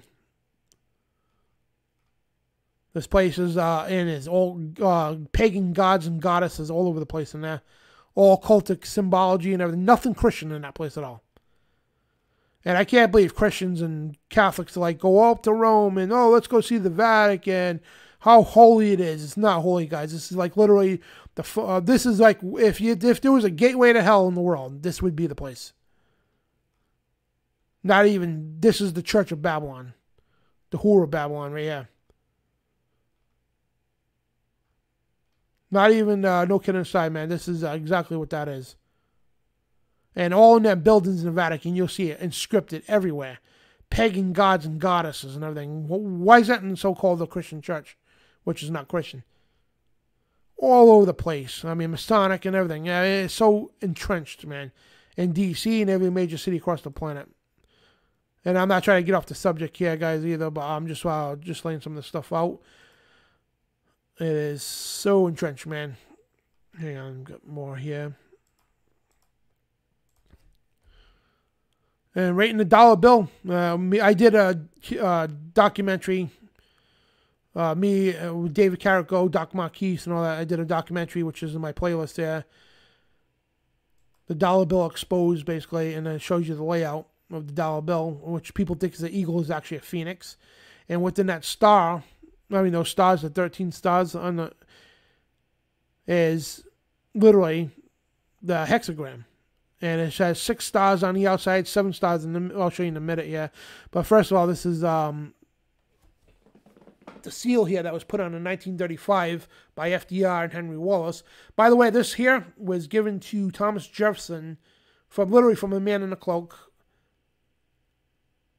given to Thomas Jefferson, and this was hidden from the American public for over 200 years. American public had no idea about the seal at all because they were looking for a presidential seal. Uh, some this mysterious guy gave them, a, well, allegedly they had all the design, you know, people designing a great seal too. They had very similar um, looks, but it was allegedly said that uh, a man in a cloak actually gave him the final design here. And on this side, one side had the seal. That's what's known as the presidential seal of the United States too. But on the other side, the reverse side, that this was revealed to the public and they used it right away.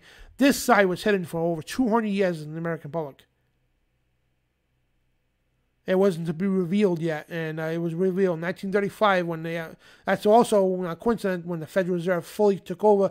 That's when President FDR said, "You know, what, if you got gold out there, it now belongs to the Federal Reserve. You need to come turn it in, or you'll be arrested." Because we had two banks, we had the Bank of the United States of America and the Federal Reserve that came in in 1913 and took full control power in 1935 by FDR. You know, I don't know why people even glorify the guy. That guy was evil as they come in. He was a Mason too, him and Henry Wallace. He was the 32nd, and Wallace was the 33rd degree. And his New Deal meant the New World Order.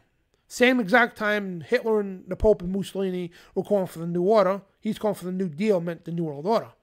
So they put this on a dollar bill in 1935 after they destroyed the Bank of the United States of America and fully fully empowered the Federal Reserve. It meant nobis corpus or New Order Seclorum uh, the New World Order is now a successful enterprise.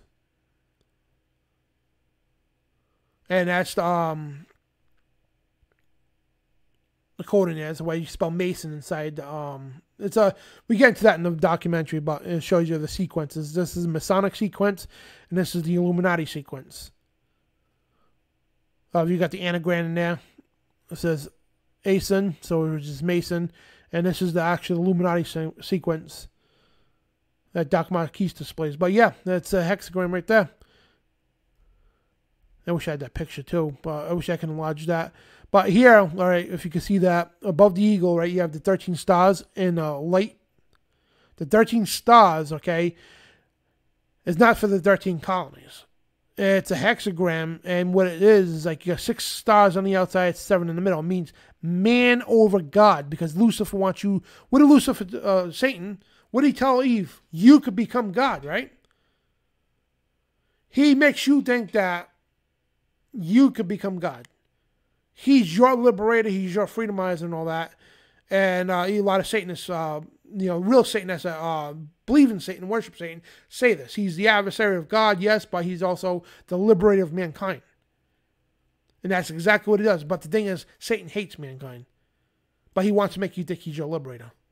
But the first thing, the biggest lie of all, he tells people that him or God doesn't exist. So, because atheists, they're just dumbed down spiritually, and I don't mean to insult anybody, but and they they just want you out of the way. But the people who do recognize deities and uh, higher power, they want you to think that you know Satan wants you to think that he's the liberator, he's the good guy, and God is the bad guy, and it goes right back to the Kabbalah again. The star is everywhere, guys everywhere, and it's a star Moloch, guys. Plain and simple.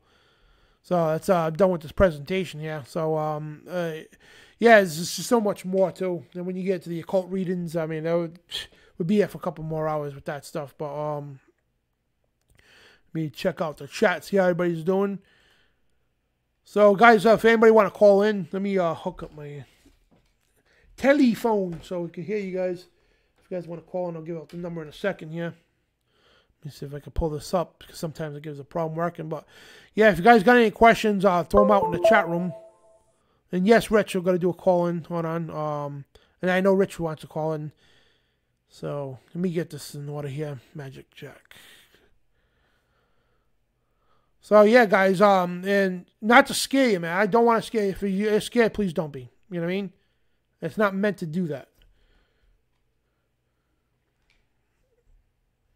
Hang on, this thing's giving me a problem again. So, um, you know, it, it, it's everywhere. Everywhere you go. And uh, this is why God says to see things how he sees them. And then you completely, when you see this stuff, guys, you completely see the evil of this, this planet that controls this planet. And yes, we know God's got the overall control, absolutely. But he says, you know, Satan is the prince of this world until he returns. And it isn't everywhere, guys. Everywhere. Embedded. And that's just that's just that star. That's just that style. That's the the other stuff where you see it'll blow your mind. I mean, if you don't have a strong spiritual foundation, this will really rock your cradle.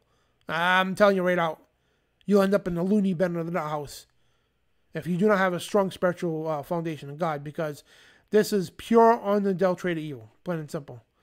Hang on, guys. Let me see if I can get my uh, phone system up here. Here we go.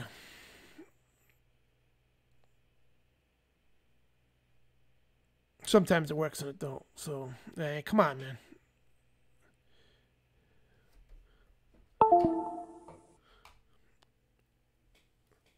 Yes, let's do it the USB. So, I forgot to plug it in earlier, so we didn't have this problem when the show started. So, little unprofessional. But yeah, we're just an independent talk show. So if you're looking for professional top notch, you got the wrong place. That's why we're always asking, you know, putting uh, PayPal things up there for. So raising money to get the things that we do need to make, work properly and professionally. You know what I mean? That's exactly the only reason why. And plus, they'll keep the lights on in the place too. That's the only reason why we put a PayPal thing out. Other than that, I can't stand asking for money. So let's see if it starts up again. Uh, hang on one second. Let me try something. So, guys, what do you think? Uh, I mean, uh, put it in your comments here until I get this phone going.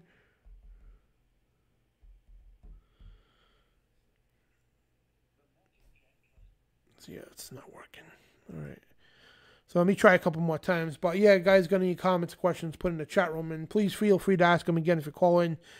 Uh, I'm just trying to get this thing working here. I think because I got so much plugged into my computer, it's probably like uh,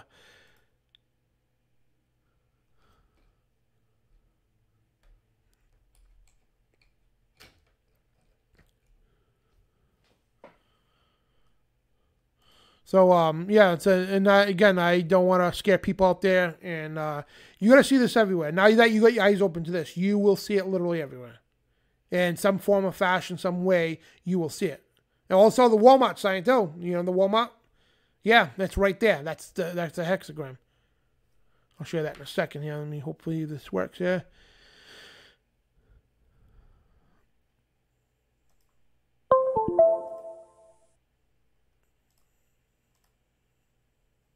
So yeah, the Walmart sign, this hexagram is there. It,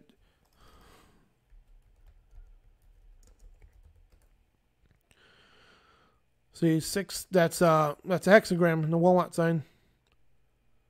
Yeah, I mean they they put this everywhere. Then you got the um Target logo. Looks like a Target, yeah, but no, that's uh the female vulva being penetrated. That's what that symbolizes in the occult. And that's also the Ouroboros, too. Not a coincidence. You know what I mean? Then you got the Texaco sign.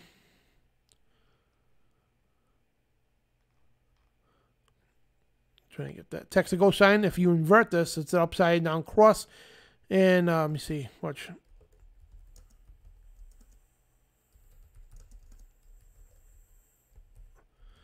The Texaco sign, you invert it. There it is, right there. The upside down cross in the uh, hex, the uh, pentagram. That's one of the primary symbols for uh, Satanism. So yeah, it's everywhere, man. And I, I go on all night with this stuff, man. And I'm just trying to get this damn thing to work. Come on, man. Let's see what the heck's going on with this thing. I just bought this thing too, so um, hang on, guys. I'm sorry. Yeah, I do want to hear from you. Let me uh, We'll try one more time. From that, we'll. Um, I do want to hear from you guys. I just want to.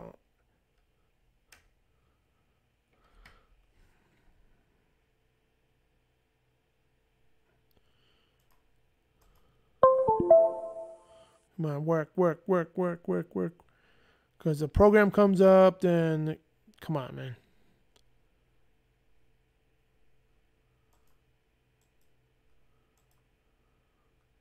I don't know why it's doing that, guys. I'm, I apologize. I should have set it up before the show, but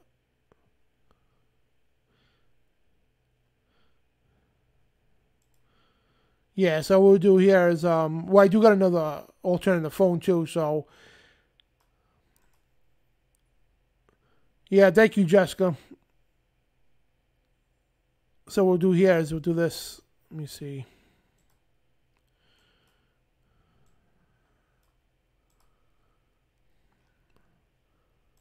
I do got an alternative number you can call, so uh, if you guys want to call, I'll give you the phone number in a second here. So just be patient, guys, if you're trying to get in. If somebody's on the line, obviously I can't uh, let you in until. So I'll put it in the chat room here. So with the phone number. So 401 468. See the first person to call in 0067. So that's the phone number right there.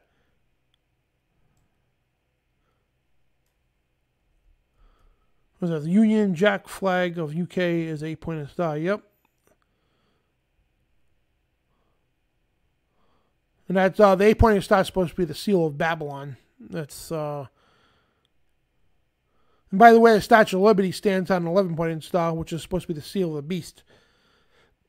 Yeah, not a coincidence, huh? We're gonna do a show on that. But I just put the number in the chat, so guys, please uh, give us a call. And please, uh, when you call in, please speak up loudly if you can. And we got a call coming in right now, so.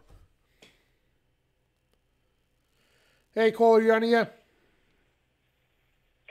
Hey, Dan, it's Alexis, KB.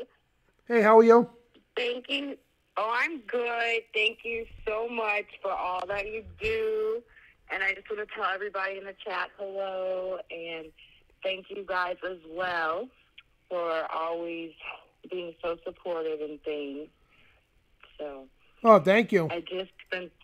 No, thank you. I appreciate it. thank lot. you for thanking me for So. thanking you. um, but yeah, I hope to see everybody at the midnight ride tomorrow. oh yeah, tomorrow night. Well, tonight actually, technically. oh, Yeah, wait, right. Sorry, guys. which state you calling from? but Indianapolis, Oh, nice. Indiana. So yes. Well, I should be heading to Indiana in July. Everything. When you uh, are? yeah, when um David and uh John do the the conference they got planning, so I should be in July, but I'll be there anyway. And I hope to see you there too. Yes, yes, I will be I know about it. if I can figure it out. But um, I just want to say you're awesome. Thank you. Chat's awesome. All of you guys are awesome, and I pray for everyone. And thanks for all the prayers for me, for my recovery as well. It's going good. So Amen. I just thank you so much, and I don't know, I'm like nervous, I guess. No, it's all right. Don't be nervous. the It's show uh, you did earlier, it's late at night. the show earlier as well was great. Oh, thank you. So it was sad, kind Yeah. of, about all the kids and things, but I feel you when you like have that heart for the children because I feel the same way. Like I don't know, I just I feel it in you. I know it, you know. And I wish everybody could, and I'm pretty sure most of the chat does as well. But you Amen know, to that. I keep telling everyone to get right with God and repent because just what we're doing to the children alone, He's got to be mad at. So Yeah. I say, you know, He loved the children, Jesus, and you know. But everyone have a good night. You too, thank Alexis. You so much. Hey, All right. and God bless you. Also cool that I beat Rich in the chat. Oh, yeah, you beat Rich, yeah. Before they both. He was like Alexis. So I was trying to type in my number, quick, the number quick enough. so, but I love hearing from everybody in the chat too. It makes it awesome, and like people are actually real. So Awesome. Thank you so much, Alexis, and have a Uh, great night. Happy Shabbat. You too. Shabbat. Bye. Thank you. So as Alexis said, good to hear from you. And um, so please call in Rich. Uh, I thought you'd be the first one calling in, so give us a call, man. I know you're always fired up, and uh, Melissa, you too. You should be calling in, Melissa. so let me put that phone number one more time in the chat. So if you're calling from out of the country, put a one in front of that number. That's uh, country code one. The telephone. The telly. So call my telly, please.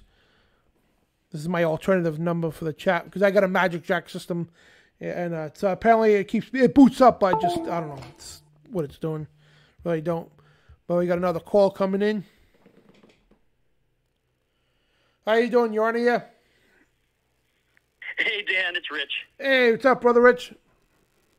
Hey, I was I was going to be the first person, but I wanted to hold back so other people can call in. And I know uh, last week um, Alexis wanted to call in, but she didn't get a chance. So I kind of just you know stepped back and let her you know have the spotlight for you know a few seconds. Yeah. Oh, no problem, man. How you Yeah. doing tonight? Oh, I'm doing great. How about you? Oh, pretty good. Fired up, uh, considering 2:44 in the morning over here. Yeah, I was gonna say I was like thinking, man, I hope these people don't fall asleep by the time you do call in. You know what I mean? you know, because you know when you hear about the star and and all that stuff. But um, the thing Abba was teaching me um, when we I was studying all this stuff about mythology and stuff like that is what we have to remember is these stars they're all two dimensional images. You know, and and we're multi-dimensional beings, and God is multi-dimensional, infinitely dimensional, and these you know these are all two-dimensional things, you know, images, uh, idols that these guys worship and use, and we shouldn't be afraid of this stuff. It's like you said, Dan. You hit the nail right on the head. We shouldn't be afraid of any of this stuff. I mean, I, I can draw a picture of Mickey Mouse, and that would be more dangerous than you know uh, some symbol from Israel. True you that. know Yep. I mean? But I, I wanted to say um, last week was really fun. Um, I remember when John Pounders was on and someone had called in. They they wanted like to do a singles night, and then John looked at you and he said, "Well, I didn't want to be a pimp. You want to you know put that together." You remember that? yeah. And uh, then you said, "Well, why don't we get the spicy Italian David Carico to do it?" The spicy Sicilian. Yep. or Sicilian, yeah. Yeah, same Spicy thing. Sicilian. Yeah. So then the Lord put a vision in my head. You know, I could, you know, you see this couple, they meet, they come home, you know, they start getting romantic in front of the firelight, and there's Carico with a stack of occultic books, and he's talking about the Nephilim mating ritual or something, you know, with his fedora and everything. I thought, wow, that'd be a mood killer. Yeah, that that's I funny. Yeah. So, but I, I wanted to say, I mean, I mean, you really went in depth today. It was really intense. Uh, you covered just about everything from um, uh, cod pieces for children to oh my gosh, you know, mutilation, uh, the star. I mean, it, it was it was pretty it was pretty harrowing. But uh, I got to say, you, you kept a straight face and and you soldiered through it. And I, you know, I'm going to commend you on that, buddy. Oh, thank you, man. And uh, I I love uh, doing these shows. I mean, like not that I love this stuff, but I love exposing it. You know what I mean? Because I feel this Yeah, is like yeah. the most important thing. Uh, besides knowing Jesus, is number one important thing about uh, spiritual warfare that every Christian should know wholeheartedly. Exactly, brother. Exactly. Um, I remember. I mean, this morning John Hall was speaking live today, and I got to tell you that show was amazing. And Yeah, it uh, was. you know, I, I just you know I just love that you do that in your show too. And uh, just keep up the good work, man. I, I just can't say enough good things about it. And uh, I love you, man. I love the people in the chat room. Love uh, you too, guys, brother. call in if you got questions. Huh? What was that? Say, I love you too, brother. Oh, thanks, man. I appreciate it. Uh, tell the people to call in if they got questions. Uh, call in. Abba says to call in and tell us your favorite verse in the Bible. Yeah, that sounds good. Tell us your favorite verse, and uh, and also if you got questions about the show, anything, open open topic. So it could be about anything. So give us a call. Thank you, Rich. you got the stem. Yeah, thank you so much, man. I love you so much. Take Love care. you too. God bless. God bless. And speaking of John Hall, guys, um, this this uh thumbnail John Hall made for me last night. So I was, com- it was like I need a good thumbnail to express what I'm talking about, the hidden evil within uh, churches and synagogues, and uh, that uh, John Hall made this uh, thumbnail for me. So shout out to John Hall from Now You See TV and the Cutting Edge. So thank you so much. That's awesome. That's, that's an awesome thumbnail. So yeah, so anybody else wants to call in, guys, uh, please feel free to do that. And again, I'll put the number in the chat. And also, I keep forgetting too people who are watching that don't have YouTube accounts and you don't see what's going on in the chat. Uh, but the number is 401, that's the area code 401 468 0067. Again, 468, area code 401 468 0067. So Justin Fate says, uh, John 14 6. Me look that up here. What the scripture says, uh, John 14 6. You know, it feels good actually read out of the book itself, the scriptures, because I've always got the, the slides up and everything. I got a bunch of. I just tabbed the, this up here. Oh, here we go. Duh. I'm in the wrong section. I got used to these tabs here. All right, here. Matthew, Mark, Luke, John. With a 14.6. Uh, this is a small Bible. I love it though.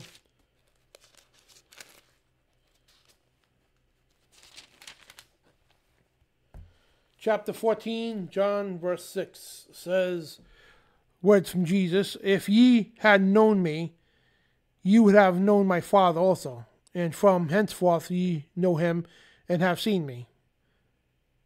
That's awesome verse. And uh, before that says, I am the way, the truth, the life, that no man comes into me except through the Father. And if ye have known me, you have known the Father, and from henceforth you have known him, you have seen him. So, and he also says, if you have seen me, you have seen the Father. So this goes out to the people too out there uh, that try to say in the the Kabbalistic people big time. Oh man, they condemn this with a with an iron rod that Jesus was the Messiah, number one, and that he's God in the flesh. People can't comprehend that. And here's the thing you're basing this off your limited human knowledge, okay?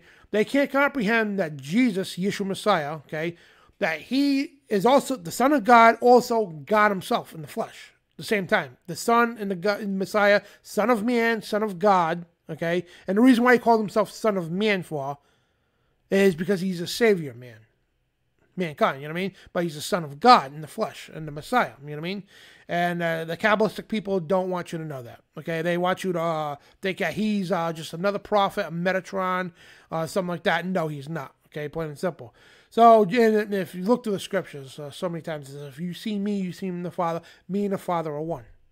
Then people say, well, why would he cry to heaven praying to his Father and, and uh, cry to this world? Because, again, you can't, your human brain can't comprehend such a thing.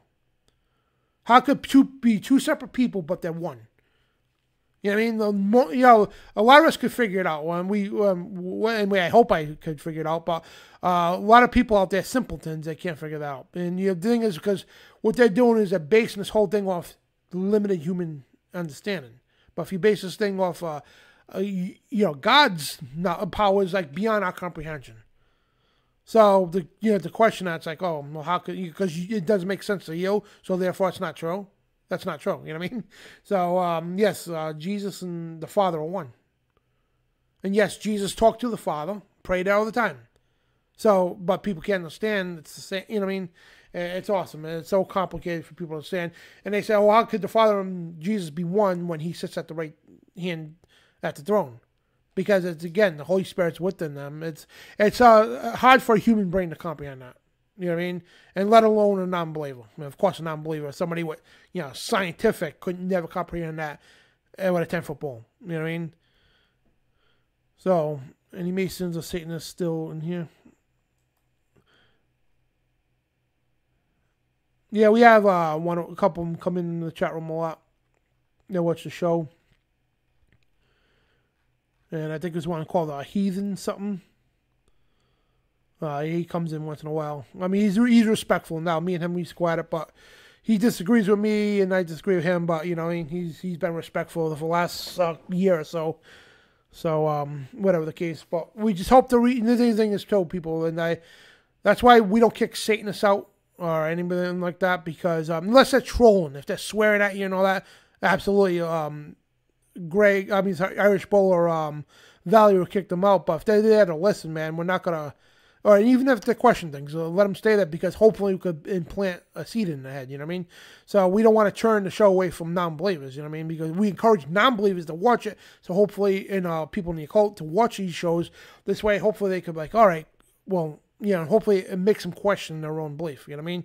And it plants that seed in them. They might not convert right away, but like in real life, when I ran into people in the occult, you know what I mean, and um, Wiccans and all that, yeah, and you know, I it, it planted a seed because what they do is they question their own faith afterwards, because you already told them stuff that they didn't even know about the faith. You know what I mean? So it, it juggles a noggin. You know what I mean? And here's the thing too: Satan sets up this defense force, right? And this is why the um, I, I said this several times before.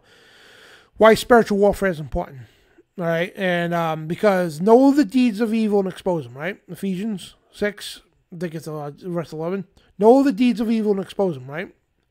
So here's the thing, okay? Because uh, the modern day churches out there will tell you, oh, don't go, don't even look into that stuff, Dan. Stay away from it. God's going to handle everything, whatever the stuff. They don't want you even knowing any of this stuff. They want you to not even look into it. But the thing is, uh, a mature Christian, sure, a new Christian, I wouldn't recommend at all to even dabble into this stuff. A mature Christian has a good spiritual foundation, especially spiritual leaders out there, you should be picking up satanic Bibles. You should be picking up the Book of the Dead on an education basis only. Knowing the enemy, you know, I mean, you don't have to know everything about them, but know the basics of what they're about. Because here's the deal, right? Years ago, when I went to a cultist like uh, Wiccan, right? My uh, wife at the time, she was friends with some a couple that were into the Wiccan, right? I didn't know too much about it, so um, I tried to witness to God to them, and they're like, "Oh, thank you for telling us about you know."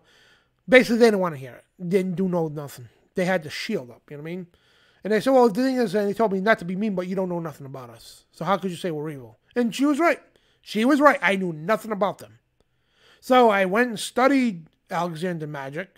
Okay, and um, uh, when I was into witchcraft before, years ago, I, I, didn't get to the Wiccan stuff. I studied other forms of it. So I had kind of a basic concept. I didn't know Wicca at the time was part of um, the witchcraft. You know what I mean? Which is almost the same thing. It's a different sect. So what basically what I know, and I figured out, wait, it is witchcraft. So I knew wordy stuff about witchcraft because unfortunately I studied it and um, practiced a little bit of it when I was younger. And um, you know that God God led me out of that. So um, then when I learned about Gerald Gardner, then Alexandrian Magic and all that stuff, and I'm like, oh, all right, so this is related, whatever. So next time when I went to go talk to them, I'm like, oh yeah, it's like, so I want to bring us back up again, blah blah blah, and um, then I started telling her stuff about Alexander and Gerald Gardner, and they're like, well, how'd you know that? I'm like, well, yeah, because blah blah blah, and there's a source right from your own sources. Right away, it dropped that shield. You know, what I mean, like they're just blown away. How the hell did you know that? I've been in Wicca. She said, I've been in for uh, 15 years and I didn't even know any of this stuff. I'm like, oh, look for yourself. You don't blame me. She looked in the books. There it is. She goes, wow. And uh, immediately her shield was dropped. I don't know if she ever converted afterwards, but she did question her faith. She goes, wow. you just blew me away. The husband was like, wow. Didn't say enough, but he's like, yeah, I guess we really better look into stuff, but I don't know what happened to them after. But the basic is, and this happened in other stories too you need to know something about them before you go witness to them. People who are heavily into the cult, you could preach to the cows come home. Okay, if they got that shield up, that blinders, if you know nothing about them, they're gonna eat you up. And he has the same thing. God what wants warriors, right? He wants soldiers for him, right? Another scenario, and this is exactly why Jesus talked in parables, so people could understand him. Of all ages, so nobody could possibly misinterpret him. So here's another example, okay? You go into the military, right? When you go into the military, you just join the military, you're enlisted. You just enlisted, right? Does that mean you could go overseas and go rescue POWs out of a base? No, not even close. You go through basic training, right? You just graduate basic training, right? Does it mean you're ready to go pull off a mission? No, not even close. So you leave basic training, you go to your MOS, that's your officer candidate school to what you want to be like a military police or artillery or whatever the case. So just say you go into um, your MOS, right? Then you go to an advanced training like special forces. You go into MOS, right? You learn your trade for the military, right? Whatever you want to be, a truck driver, or a military piece, or whatever. Even out of that, when you graduate that, are you ready to go to war yet? No, not at all. So now you go to advanced training if you want to go to special forces or whatever, or you get called to go to war, right? But regardless, you get all this training, right? Then before you go pull off a mission, doesn't mean you just go do the mission. No, you got to have reconnaissance, uh, reconnaissance team that goes over, takes recon. They want to know the you know the patrols of the soldiers, the sentries, uh, the ammunition dumps where they're located, where the prisoners are located, uh, the control towers, all that stuff. Everything's strategically uh, mapped out, uh, satellite views of the uh, compound and everything else you got to go uh, attack or rescue people from. You got to know everything about your enemy before you even go pull off a mission. Because if you don't, guess what's going to happen? You're not going to get those prisoners killed, but you're going to get yourself killed and it's going to be suicide. If you don't know everything about your enemy, you could possibly know all the data intel the reconnaissance. That's the same exact thing spiritual warfare. If you do not know your enemy and you go into an enemy's territory, guys, doesn't matter how long you've been in the faith for. Okay? If you do not know your enemy, your enemy will devour you, devour you and chew you up and spit you out. Bottom line. And no, it doesn't mean that you're going to get possessed or something like that. No. In other words, he, they're not going to hear. They're not even care about a damn thing you're going to say or even listen. So if you got that reconnaissance training, okay, again, I strongly suggest only for mature Christians. If you're new into the faith, don't, you know, just learn the Word of God, learn Jesus first before anything. Okay, spiritual warfare comes second. You know what I mean? Then when you get that strong foundation, because the thing is, if you look into that abyss, that pit, if you do not have a spiritual anchor, you will become part of the abyss. I've seen so many people in the truth movement who started dabbling, looking in that uh, abyss, and they became part of that. They either cracked up and went into loony bends, or uh, they completely turned into the evil that they were trying to expose. But if you don't have that spiritual anchor, because a lot of people in the truth movement that are not spiritually anchored, they actually believe in Kabbalah stuff. They actually believe in uh, New Age crap and everything. Like the David Icke people, perfect example right there. If you don't have a strong spiritual anchor, don't even bother yet. You know, what I mean? but people who are mature in the faith and you want to go witness to people in the occult and Freemasonry and that, you need to know something about them. At least the basics about them. Because if you don't, you know, they're going to say you don't know nothing about me. You know what I mean? So that's why it's very important for people, mature people, to study what the enemy's doing. Hey, hey, call you on air. Hey, Dick. Hey, yeah. you, hey, how's it going? Hey, it's Joe. Hey, Joe. Joe or Joel? How's it going? Yep. Oh, Joe, Joe. Joe, okay. How's it going, Joe? Good, good. This is the Colin, right? Yep. You on okay. the air? Okay. Um, well, I just I've been having like a really hard week with my son and stuff, and um, it just it really helped to uh, come here tonight, and I was uplifted and stuff, and I've had people praying for my son and stuff, so I'm feeling a lot better now. But um, uh, people in the chat, they're wanting me to talk about an experience I had in uh, 2004. Oh, go for it. And sure, sure. And uh, well, I got saved in 2003, and in 2004, um, I was praying and um, I was in my room, and my room had this couch in it, right? And I was just reading the scripture. I was reading Matthew, uh, the first chapter of Matthew, where it talked about um, Joseph was going to put away Mary, but he was a just man, so he was, wasn't going to do it publicly. And um, it says in the, in verse 20, it says, "But while he thought on these things, behold, an angel of the Lord appeared to him in a dream. And I was sat on the couch and I was thinking about that, and I thought, okay, hold on here. Um, so as he was thinking about this stuff, obviously he was awake thinking about it. It says an angel of the Lord appeared to him in a dream. And I thought, how how do you go into a dream thinking about something? You know, he wasn't sleeping. He was obviously thinking about this. So I took my Bible, I lay down on the couch, I put it on my chest, and immediately when I laid my head down, it's like I was on the ground on my knees in a whole different atmosphere. Wow. And I truly believe I was in heaven. Um, the stuff I saw, um, just the noises, the colors were just amazing. And I the first thing I noticed was this presence, and it was almost like thousands of voices or angels or something like kind of singing or making like a humming sound. And it would go lower pitch to higher pitch lower to pitch to higher pitch. And as the pitch got higher when i was on my knees now i'm really laying on the couch. This i put my bible back on my chest and i lay back. And then as soon as i went into this thing i was like immediately like on my knees it was almost like in a different like i was in the room but the presence was totally changed.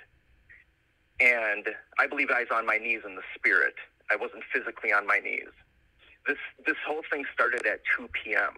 Wow. Okay, and the whole experience seemed like it lasted about three minutes. And um, this this presence, this this this noise or singing that would go low pitch, high pitch, low pitch, high pitch. When we would go up to the high pitch, it was so intense that I would have to kind of like curl over forward. It was like really intense in like a pleasure intense. It was just amazing. And as I sat and kind of pondered what was happening, I noticed this noise wasn't just around me, but it was also in me too, like coming out. And I know the scripture talks about we are the building blocks of the kingdom. We are the building blocks. It's almost like I wasn't only there, I was a part of it and my it, it, was so intense that I, I, could see, but my vision was so. Um, it's like I had to squint because it was so intense every time the pitch went up, and this the, the, these these voices singing up and down, beautiful voices, and the colors. Like I, I saw it was almost like a grass setting. Um, like kind of in a field, but the colors were so vivid. They were just amazing. And it, it's nothing, there aren't any words in this world that you could put to this. Wow. Um, you know, Paul talked about in an experience he had, and he said, whether in the body or out of the body, I don't know. And he talked about how it's not permitted to speak about these things. And I believe he's saying, that there just aren't words to explain this. There are no earthly words. And um, it's almost like the discernment was so great. Like you just kind of knew things, like things were just downloaded into your mind or heart, I should say. And um, it, it's almost like if you were to, I didn't see any other people. Um, I didn't. I just seen kind of a setting like the grass I was talking about, but it's almost like I could perceive that if you saw somebody there that you never knew their name, you would know their name, um, and you could look at them and have a conversation with them without even talking. Like you wow. could just look at somebody and just have a conversation back and forth without even talking. And um, and this whole time, this presence, this this singing was going up and down, up and down, and um, these like the colors were so vivid. Like green would be really, really, really, really, really, really, really green, and everything you saw was like so detailed. Um, if if you were like standing up, looking down at a blade of grass, your vision was so precise and so keen that it's like you could it's like almost like looking at the piece of grass under a microscope. It, it's just all the senses are like totally enhanced. I believe there's even more senses than our five physical senses here. That's um, amazing. i believe so too. yeah oh yeah. It's it's like and and what i'm saying here isn't doing it justice i mean it's just not the words that i have to use um you know i'm kind of doing the best i can but um it, it was just amazing. There's just not words that can explain it. It's like you have to be there. And the only thing that mattered is that you're there. That's the only thing that matters. It's not like you're looking back on this life and you're thinking about all the bad things that happen and how evil and corrupt this world is. It's like all that is just washed away. And the only thing that matters is that you're in the presence of the Lord.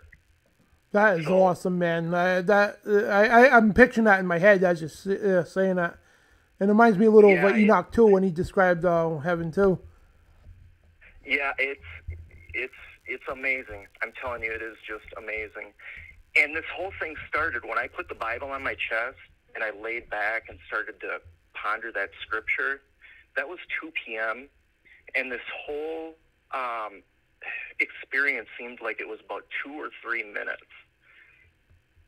I opened my eyes after this was done, and I was laying on the couch with my Bible on my chest. I opened my eyes. I wasn't tired or nothing. It was just like I closed my eyes for a few minutes and then opened them. And in the meantime, this whole experience happened. It was 9 p.m. at night when I opened my eyes seven hours later. Wow. Yep. So, um, Well, you put that in perspective happening- because uh, God said a breath of, uh, yeah, it was a thousand years is like a breath to him or a day to him. I mean, yeah, a thousand years is like a day, and a day like a thousand years. Yeah, it's like there's there's no, um, you know, in Revelation, the angel came by and said there'll be time no more. Um, before the creation, there was no time. So it's like there's no time there. So you could be there for one minute. It seems like, and it could be you know ten hours. So, but it was just truly amazing, an awesome experience that happened in 2004. And I haven't like told anybody. I've told like two people and one person I told kind of rejected it, and um, so I, I, I I haven't really even ever talked about this to anybody. Um, but I know Rich in the chat, he really wanted me to talk about it because he's experienced some stuff too. So I thought I'd just call in and talk to him that, talk um, about it. Joe, thank you so much, man. I'm so happy that you shared that story on here, and because Yeah. I, everybody in the chat room, we're all like family now, you know, and uh, and um, I'm so glad sure. you, you had the courage to come out and say that because supernatural things, Yeah. man. You know, the general public they'll sit there and laugh at you and ridicule you, but uh, you won't have that here, Yeah. man. And I could literally picture my head uh, what you're saying, and uh, I hope and pray that I get to experience that someday, and uh, well, hopefully in the, the fraternity, you know. What I mean? But um, yeah, that that Yep. sounds so beautiful, man. And uh, you know, God bless you, my friend. God bless you, Dad. And um, you. yeah, God would you say your son too? I'm sorry, uh, you you need to pray for your son. Yeah, he's he's 13. Yeah. Um, his name's Josiah, and he he has this computer at his mom's house, and he developed a, uh, an internet addiction over there. And she's basically given up on life, and just she's not doing good. Oh man, Um, so I just have been having people pray for him. I've been praying for him, and I've been spending a lot of time with him recently to help him and stuff, of course. And um, she finally, a little less than a week ago, shut the internet off. But he's like going through kind of like withdrawals oh yeah, from it. I mean, it's really hard. So, so the the internet shut off. He's just you know having a hard time not being on it. So. I'm just trying to, support him as much as I can. what's his and- name? Josiah. Josiah, yep. Yeah, I'll say uh, if you if you don't mind, I'll say a prayer for you right now on the air. Absolutely, Dan. That'd be great.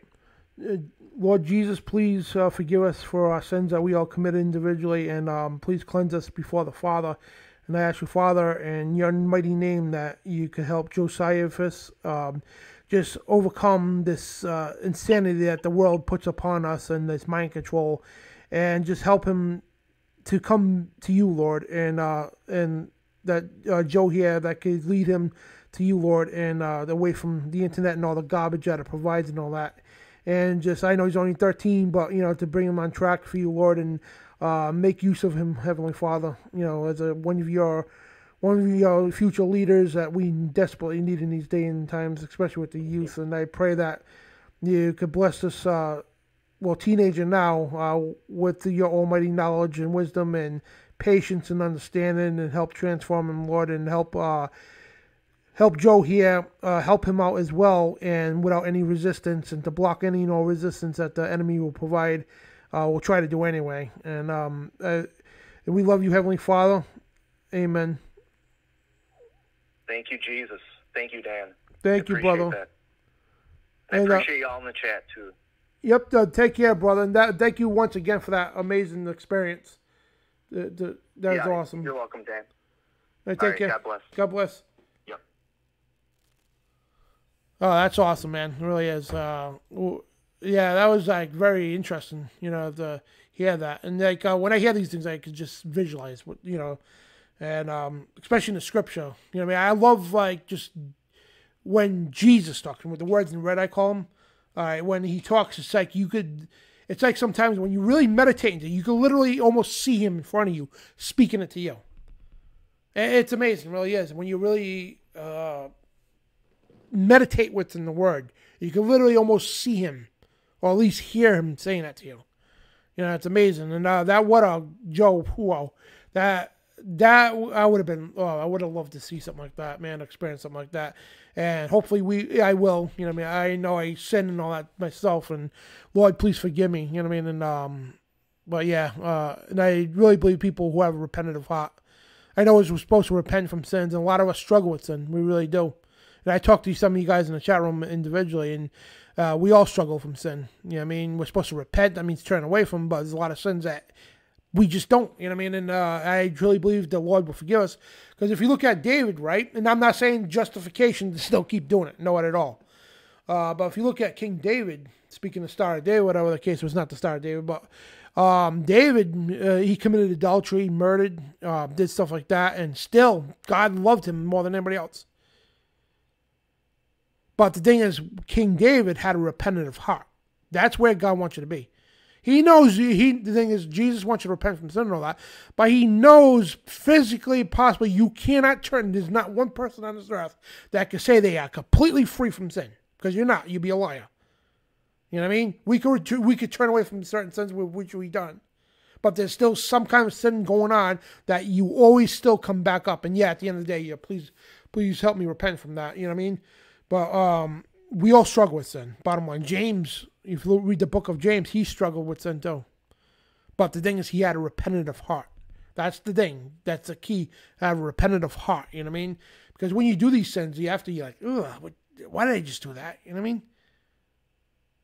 You know what I mean? Why did I just commit that? You know what I mean? And uh, you know, and even when you swear, you're like, oh man, you. know, I mean, you, curse at yourself for swearing and everything, and like, so it's a constant struggle, man. Uh, again, but when you feel like, oh, that's the Holy Spirit convicting you, that means you got a repentant heart.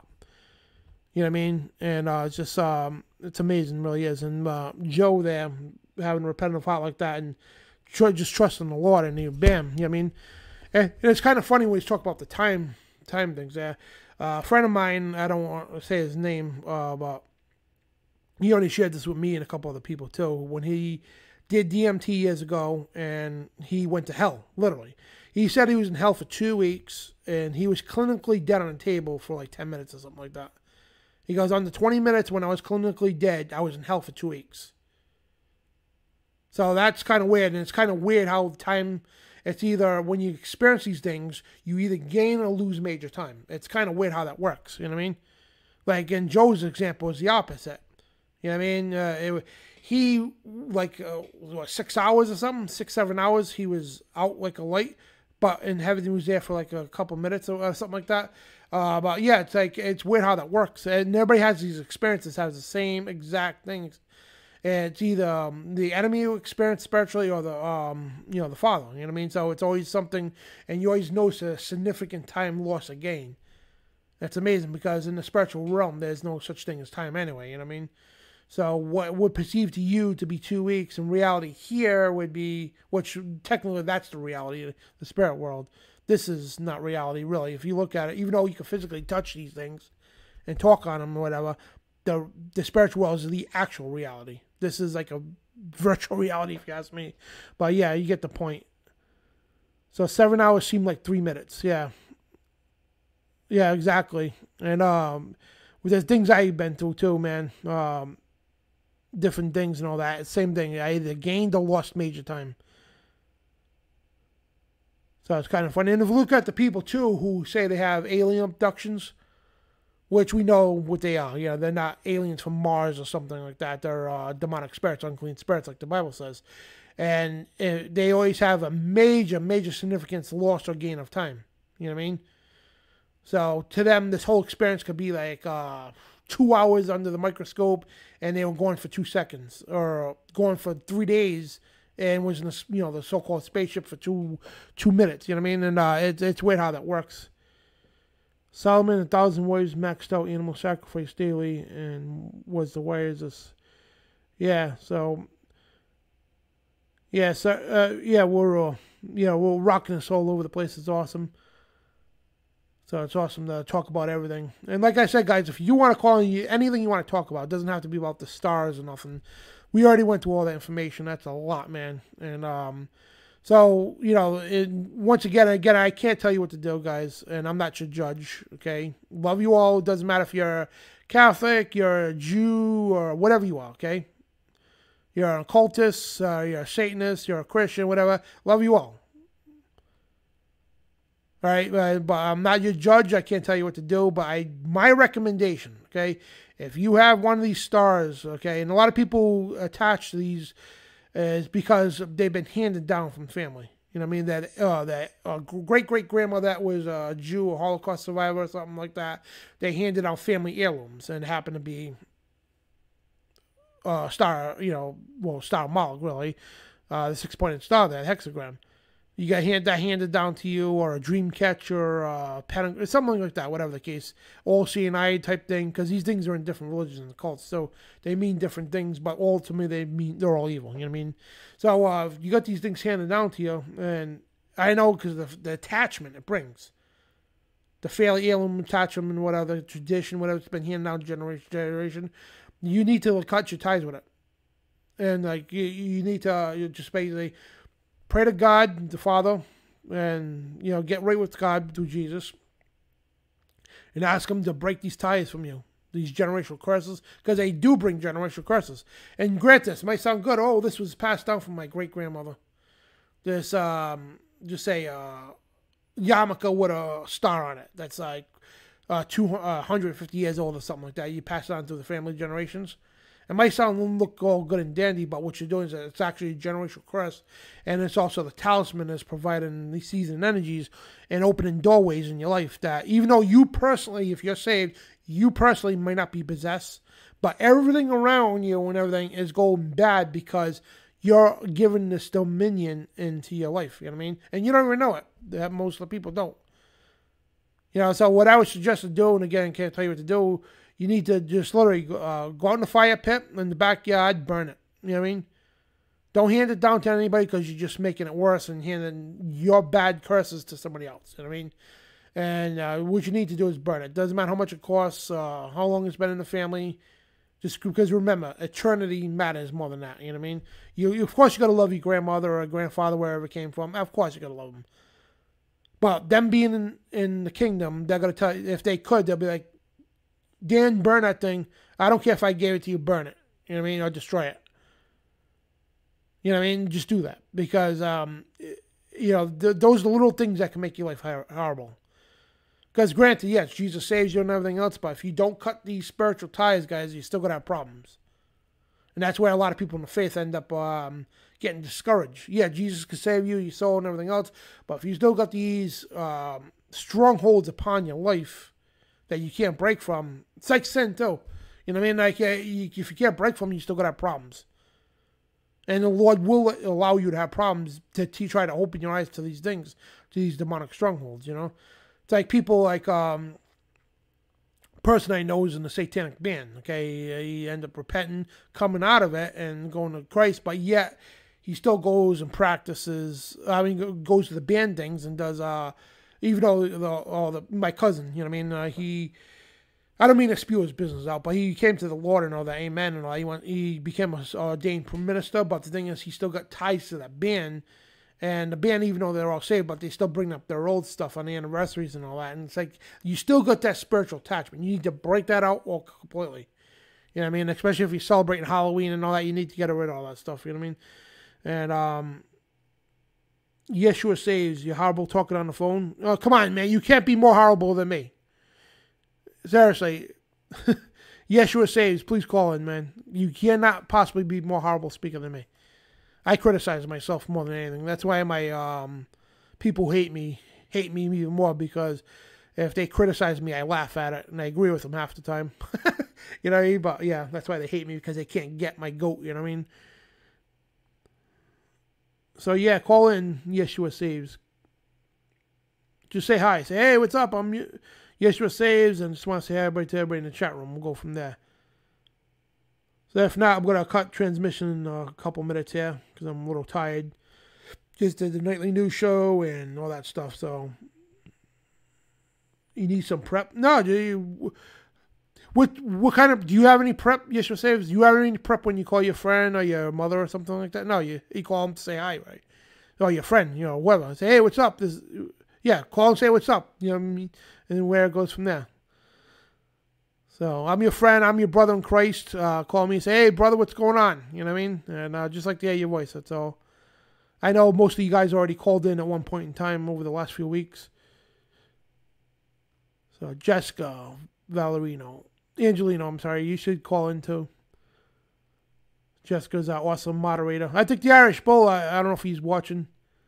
Because uh, sometimes uh, when the shows go too long and he, he can't keep up with the chat because he's got some he's got bad eyes and uh, poor guy. So guys out there, I do got a strong prayer request. I pray. I mean, I asked everybody here if you could pray for Irish Bull today.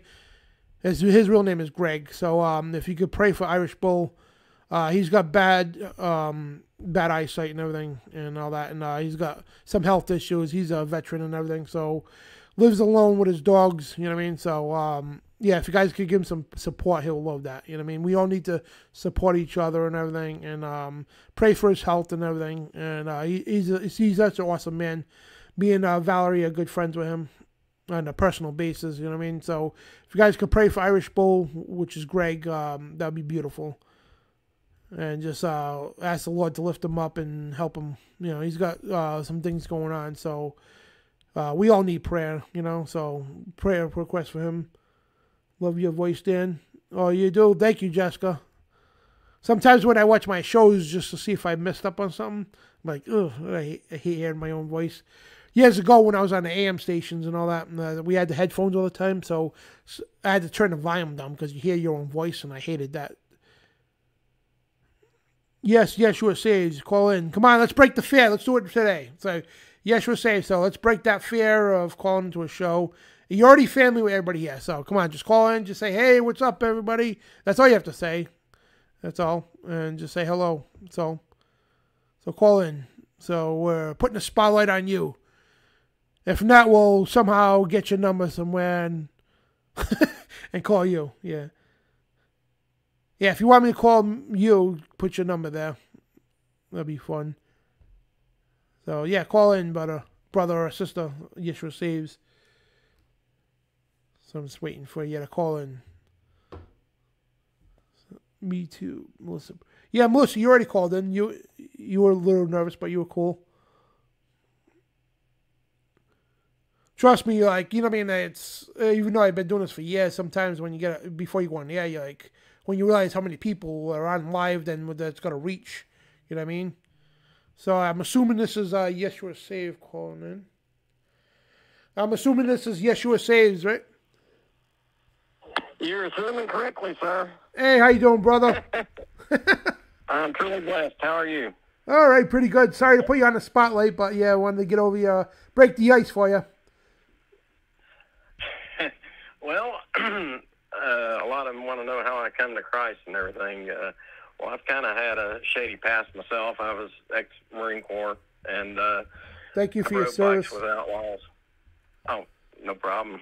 it was my honor. I mean, I, it was for me to do. I mean, I wanted to learn how to protect the innocent. That's what I was taught from a child, and uh, like I said, I had both both my grandparents. Uh, my dad too uh, are all Freemasons, and I almost took the uh, step myself. I was I worked in hospitals and uh, was introduced to it myself, and I never did uh, take the oaths. Amen. Thank uh, God. I started watching. Uh, amen.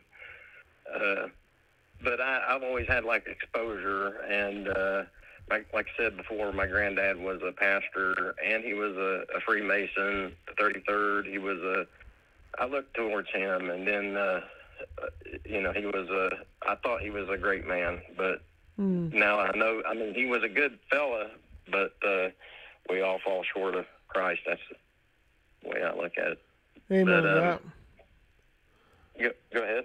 No, I was saying amen to that, and I'm so happy. Then I almost myself, um, when I was starting to get a lot into history stuff, and I, you know, was starting to think about uh, getting into Freemasonry, I had a co-worker and that's when the time the National Treasure movies came out and everything. And I had a coworker glorifying it and everything else, and um, I thought it'd be a cool thing. And uh, then quickly learned the father showed me real quick um, exposing Freemasonry, and I came upon Doc Marquis and William Schnoebelen at the time, and I'm like, wow, all right, cool, thank you, Father, for showing me. And I learned real quick uh, that no, it's not good to be in that craft there. Exactly.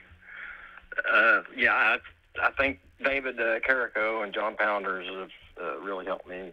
Uh, I was about ready to take the oath, and uh, I started watching uh, cutting or uh, now you see TV and uh, the Midnight Ride, and then they turned me on to you. awesome. Uh, bless them for that. I, I, I've asked John before uh, because I'm from West Virginia and I travel. I ride Harley too. Uh, don't hold that against me. but uh, I, uh, I'm a disabled vet, so I got all the free time in the world. Uh, so I, I I do now. I pack the cross on my on my vest, and uh, I try to minister. And I go out with a bunch of Sons of God riders who uh, go to all these outlaw Oh wow. uh, houses that I used to. I used to. I used to run pretty hard in them, and uh, now I run for Christ, and I don't drink no more. I used to. I used to be a pretty hard drinker, being Marine Corps, and uh, well, uh, like uh, long story short, I, my mom died, and um, I started falling again, uh, and I fell into addiction. The VA, you know, they give you anything that you want, and uh, I fell into addiction, and uh, I, one day I just had enough. I said enough was enough. I, uh, I, I stroked out on uh, medication. Uh, the VA, you know, like I said, they they sent me two bottles, one from one hospital, one from another hospital. And I said, uh, after after she died, I just didn't.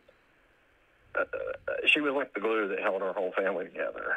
And uh, once she was out of the picture, our whole family kind of fell apart. My brother uh, committed suicide in Florida. He was a mortician, and uh, it just too many things was trying on me at the time. And me and my dad had a falling out, and uh, I I prayed to uh, to to the Father to uh, for him, me and him to reconcile, but he he has refused to talk to me and everything. Oh, it's sad. Even go ahead. No, uh, that's sad. I mean, like especially, yeah, him not talking to his own son. You know. Yeah, I, I've made uh, like peace gestures and stuff. I've you know I've sent him stuff in the mail, and he he he's moved on. He he's supposed. Well, I don't want to get into the. I, that's where I've always had the problem is because he's uh, he says he's religious, goes to a Baptist church, but and he's a deacon, and he you know he drinks himself to sleep. Being a Baptist, I don't know how uh, you can get by with that, but uh, that's where I was always, you know, kind of on the line. Uh, like I said, my granddad was a preacher, but you know, he was a Freemason. I, it's just so many ties are just, I don't know. I was confused for the longest, but I understand this is a nearly pure satanic world that we live in, and we're spiritual in in physical. I mean, we're in a physical jail prison basically, but uh, we have to break free of that, and and Christ is the only way. Amen to that. And um, I'm so happy the father reached out to you uh, before you, you know, decided to take that oath. And I, the same thing happened to me, man. And I got influenced because of TV and friends uh, around me. And um, like, and the father opened my eyes ahead of time. And David Carrico, man, I'm actually going to have him on the show. I, I keep meaning to call him. We uh, we already uh, come up with the idea of having a ma- show exposing Freemasonry, and um, so it's just like uh, between our schedules, I forget to call each other, but I give him a call tomorrow. I'm gonna try anyway, and uh, to remember. So hopefully this week we get a show. Me and him talk about the masonry. Amen. Amen. So thank you, brother, Uh, for your yeah, service and everything, and um, you know, Semper Fi. Got a lot of respect for the Marines. I, I, I was going to ask you too. I Yep. had a, I had a question a couple of weeks ago, and Sure. uh, uh, you you know how we do a veterans ride on Memorial Day to Yeah. uh, ride to the wall, they call it. Well, I was wondering uh, because they were trying, you know, so hard to uh, prevent veterans from coming in and everything. They they canceled their. Uh, we had like a permit for parking and everything, so they decided to uh, have it at uh, Washington Redskins Stadium, and uh, it's still going on. But I didn't know because I know you're a patriot and you like to, you know, show up to stuff. And I don't know how far you are from DC, but I'll probably be going. Oh, probably like eight hours, six, seven, eight, somewhere in that. I'm up in Rhode Island yeah, between Bo- between Oh, Boston okay, and New York. Yeah. Or Boston and I- I've Connecticut. got some. Uh, I've got some brothers up that way. Uh, that you know, club brothers, that kind of stuff. Oh, I'm, nice. I'm in a club, that I'm not. I'm not an outlaw anymore. Yeah. I'm in the Marine Corps club, and I've been trying to minister to them, and I've been praying real hard on whether or not whether if the Father wants me to stay with these guys or the guys that I ride with here locally. They're all sons of God, like I say. They all wear you know Christ's image on their patch and everything, and I That's awesome. like we we'll ride to all these outlaw events that I used to perform as an outlaw, and now I, I stay sober and minister. That's awesome, man. And get drunk on the Holy Spirit. That's awesome. Amen. Amen. All right, brother. Thanks, thank you for the call uh, and everything. And um, Blessings, and I love everybody in chat. I love you too, man. And and like I say, one of these days maybe we might cross paths and give That'd each be other a hug awesome. one of these days. that would be awesome, brother. I wish I could make it down there. That'd be cool. All right. All right. Thank you, say, brother. I get nervous on the phone. That's all right. You, you did great, brother. You sound great, man. All right. All right. God bless you. Well, bless y'all. You too. All right. Love you, brother. Brother Dan. So that uh, awesome call. Thank you, man. Uh, that's pretty cool. You know what I mean? And Yeshua saves. So I didn't even get your real first name, but yeah, but thank you for calling, man. Yeshua saves. Uh, God bless you, man. Uh, going out and like you served the country, you know, and you and the Marines and all that. Semper Fi, hoorah! Uh, God bless you, man. And um, now you're serving the Lord. So you served two armies. You served the army for our country, and now you're serving the army of the Lord. That's awesome, man. And yeah, I believe you're gonna have some validation, big time. You know, because you're uh, like a service type person that loves uh, fighting for good and helping people. I love that attitude. So we got another caller on here here. One second. And caller, you're on here. Hey, Dan. My name is uh, Patty Pete. I'm calling from uh, Parker City, Nevada. Oh, hello. How are you? Good. I just wanted to say thank you for your show. Um, I have been in the Hebrew Roots movement. Well, I know that John and them don't call it that, but I've been in the movement like you guys for a while. Yeah. Not very strong in the Lord. I, I was just wondering if there is any way you can maybe, you know, keep me in your prayers to be uh, more faithful to reading, because that's my biggest thing I've been going through lately. But I'm thinking that I found you through through John and John. I didn't even know. I I've heard of your show through them, obviously, because they show all the shows on the and my you know now you see TV stuff. But I I started listening to you, and I I really enjoy your your stuff and your news and. Oh, Unlike thank you. guys, it's not that late. Well, I'll say for a prayer for you right now, if you like. Sure, that was great. Thank you. So, Heavenly Father, help Patty here to become uh, a great teacher in you, Lord, and to give her courage, give her strength, give her wisdom and knowledge, give her passion, which she's already got, you know, what I mean? and give her the encouragement and uh, ability and uh, the great gift with the tongue to speak out and witness for you, Lord, to rebuke evil for you, Lord, and to bring people to you, Lord. And I pray in your mighty heavenly name. Amen. Thank you. This is the first time I've ever called any of you guys, so That's uh, awesome. Thanks for talking to me, and have a good evening or morning there. Yeah, morning now. And thank you so much for the call, dear. All right, you have a good one. Thanks, Yep, Dan. love you and God bless you. Love you too. God bless. Bye. Awesome. So we got a lot of first time callers. That is awesome, man. Uh, it's good, you know, to get the um, like said. Once you call into a show, guys, like don't get me wrong. When I call to some show, sometime I like you know, like uh, you know, you do get a little nervous though. You know what I mean? I've been doing this for a while, and every time when I was saying earlier, when I come on and I see a bunch of people on live, I'm like, you know, you still get that little little jitter, you know what I mean? So don't let me kid you any, you know, better than you know you. You know, I'm not better than you. You know what I mean? So um, yeah, it's uh, and when I hosted uh on Infowars.com, man, it was crazy. Uh, 2012, I think it was. Uh, I hosted the Money Bomb on Infowars.com, Alex Jones show, and uh, we had like 15 million people or something watching live. I'm like, wow! And I'm hosting a four and a half hour show. I'm like, you talk about nervous, man. Whoops! So what are we doing here? Oh, hold on, caller. Hold on one second, caller.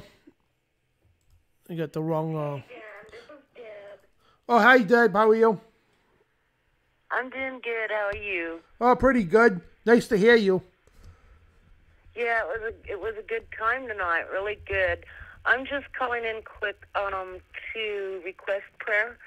Sure. I started coughing up blood like last Sunday, and um so uh, it's funny. I've only coughed once since I've been listening to listening tonight. Isn't that something? Amen. Oh yeah, definitely pray for you. And uh, Lord, uh, Heavenly Father, please hear her prayer and uh, please help her. Uh, just whatever's going on, that what the reason why she's coughing out blood. Hopefully, and I pray that's just something minor, and if it is something serious, Heavenly Father, I pray that you can heal her in Your mighty name and the Holy Spirit and Jesus. Yeshua Messiah, please touch upon her and her heart and, and, and heal her infliction if there is one. And again, we hope and pray it's something just uh, not serious. But if it is, uh, your works and your power uh, is n- and nothing's impossible. In your mighty heavenly name, amen. Amen. Amen. Yeah. I mainly need the prayer for my husband. He's kind of worried, you know. I'm Yeah. like, hey, if I get out of here, like, I Oh know yeah, I'm Deb. I mean, I, be as a, I'm soon to be married You myself, know. and I'd be uh, worried myself if it was my wife. You know. I know. I'm like, Lord, I can't take much more of this evilness. I really can't. yeah. Yeah. Well- but anyway, I love you, man. Love you too, Deb, and uh, God bless you, sister. Yeah, you too, brother, and thank you for your prayer. You're welcome. Anytime. Okay. God bless. Good night. And thank you, Deb. Uh, thank you for calling in. And I hope and pray that uh, you know it. w- It doesn't even matter what it is because the Heavenly Father can heal anything. So it really doesn't matter. We don't even need to know what it is because if the Heavenly Father's got in His will to heal you, He's got to do that. And I truly believe that a million percent. And um, everybody's out there praying for you as well. So uh, awesome. And you too, Patty, as well. And everybody else, Joe, and they all called in and that need prayer. And uh, this is why I love this chat thing because it's we're in the Sabbath now, and it's great just uh, welcome the Sabbath and uh, to answer people's prayers and everything. Hi, caller, you're on the air. Hi, Dan. How are you? This is Jessica. Hi, Jessica. How are you? I'm, I'm great. Oh, wow. It's a great show, as always. Thank And you. I just want to yeah, I want to say thank you for teaching us, and you just, you just, you're, you're phenomenal. You're just, you got so much um, knowledge and wisdom, and I, I really appreciate it, and we all appreciate it. We love you so much, and um, We love you too. yeah, yeah, it's like so awesome because it's like it's like a church for me, you know, and um, and it's so good to hear different stories from all the people in the chat room, you know. I mean, we all go through certain things, and we still go through certain things, you know, and um, it, it makes us know that we need Jesus like every minute, like all day long, and um, and um, and so it's so good to um hear other people's stories to be encouraged because like it, you know there's times I'm going through something or you know I'm like oh my goodness and I hear somebody else's story and I, it lifts it lifts me up. So I just want to say thank you to all you guys and and prayers for everyone that's going through certain things and um and I pray for this chat room that it grows and expands and I just want to say thank you for talking about Doc Marquis because because of him I I learned I learned you because you were on his show one time and you were just screaming and and you were just your voice and I was like, oh my goodness, this guy is cool. I want to I want to see I want to hear this guy more often. And then that's when I started to follow you. So I just want to say thank you for that. And every uh, Irish Bull, I I pray that the Lord will bless his eyes and and heal him and anything he's going through. May God lift him up and and all the people, all, all everybody in this chat room that the blood of Jesus be on them and and you too, Dan. And thank, Thank you, you. so much. Thank you Appreciate so much, God Jessica. Yeah, yeah. I I miss Doc. Oh, man, what a great guy that guy was. God bless him. like he used to say, God you. keep you. Yes. All right. Thank you so much. You right, too. you Love you, Jessica. God bless you, sister. Yes, love you. Bye bye. That's awesome. Uh, it's great to hear from you guys. So that's what it's about, guys. I mean, like, um, the thing is, what you if you're nervous and you're like, yeah, nobody wants to hear me, or um, you know, nobody's gonna li- believe me. But the thing is, everybody that's called, no matter what it is, it's you're relating to somebody with something. You know what I mean? So you are helping somebody else out, like that woman who called when we did the show on the abortions a few weeks back, and um, what the scripture has to say about it. Uh, one of the I forgot who was that called in and explained that she, when she I think was 16, that her parents wanted her to get a divorce, and she decided to keep the baby, and she was out in the streets all alone, and um, you know, thank God the the boyfriend took her in, but her story, that alone, related to a few other people that were going through and related to the same situation that helped them. You know what I mean? Because that's why testimonies are so important.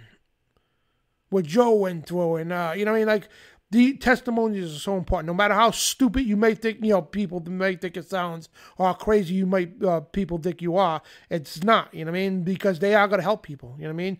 Testimonies are so important. Man. That's why they're very important in, in um, this our church here. You know what I mean? Oh, and two or three more gather in His name. That's where we are here. We might not be physically, but spiritually and cyberly, we're all in the same room here. And either way, we're still gathered in the name of Jesus Christ. You know what I mean? So um, this is uh, my. I consider this my church, man.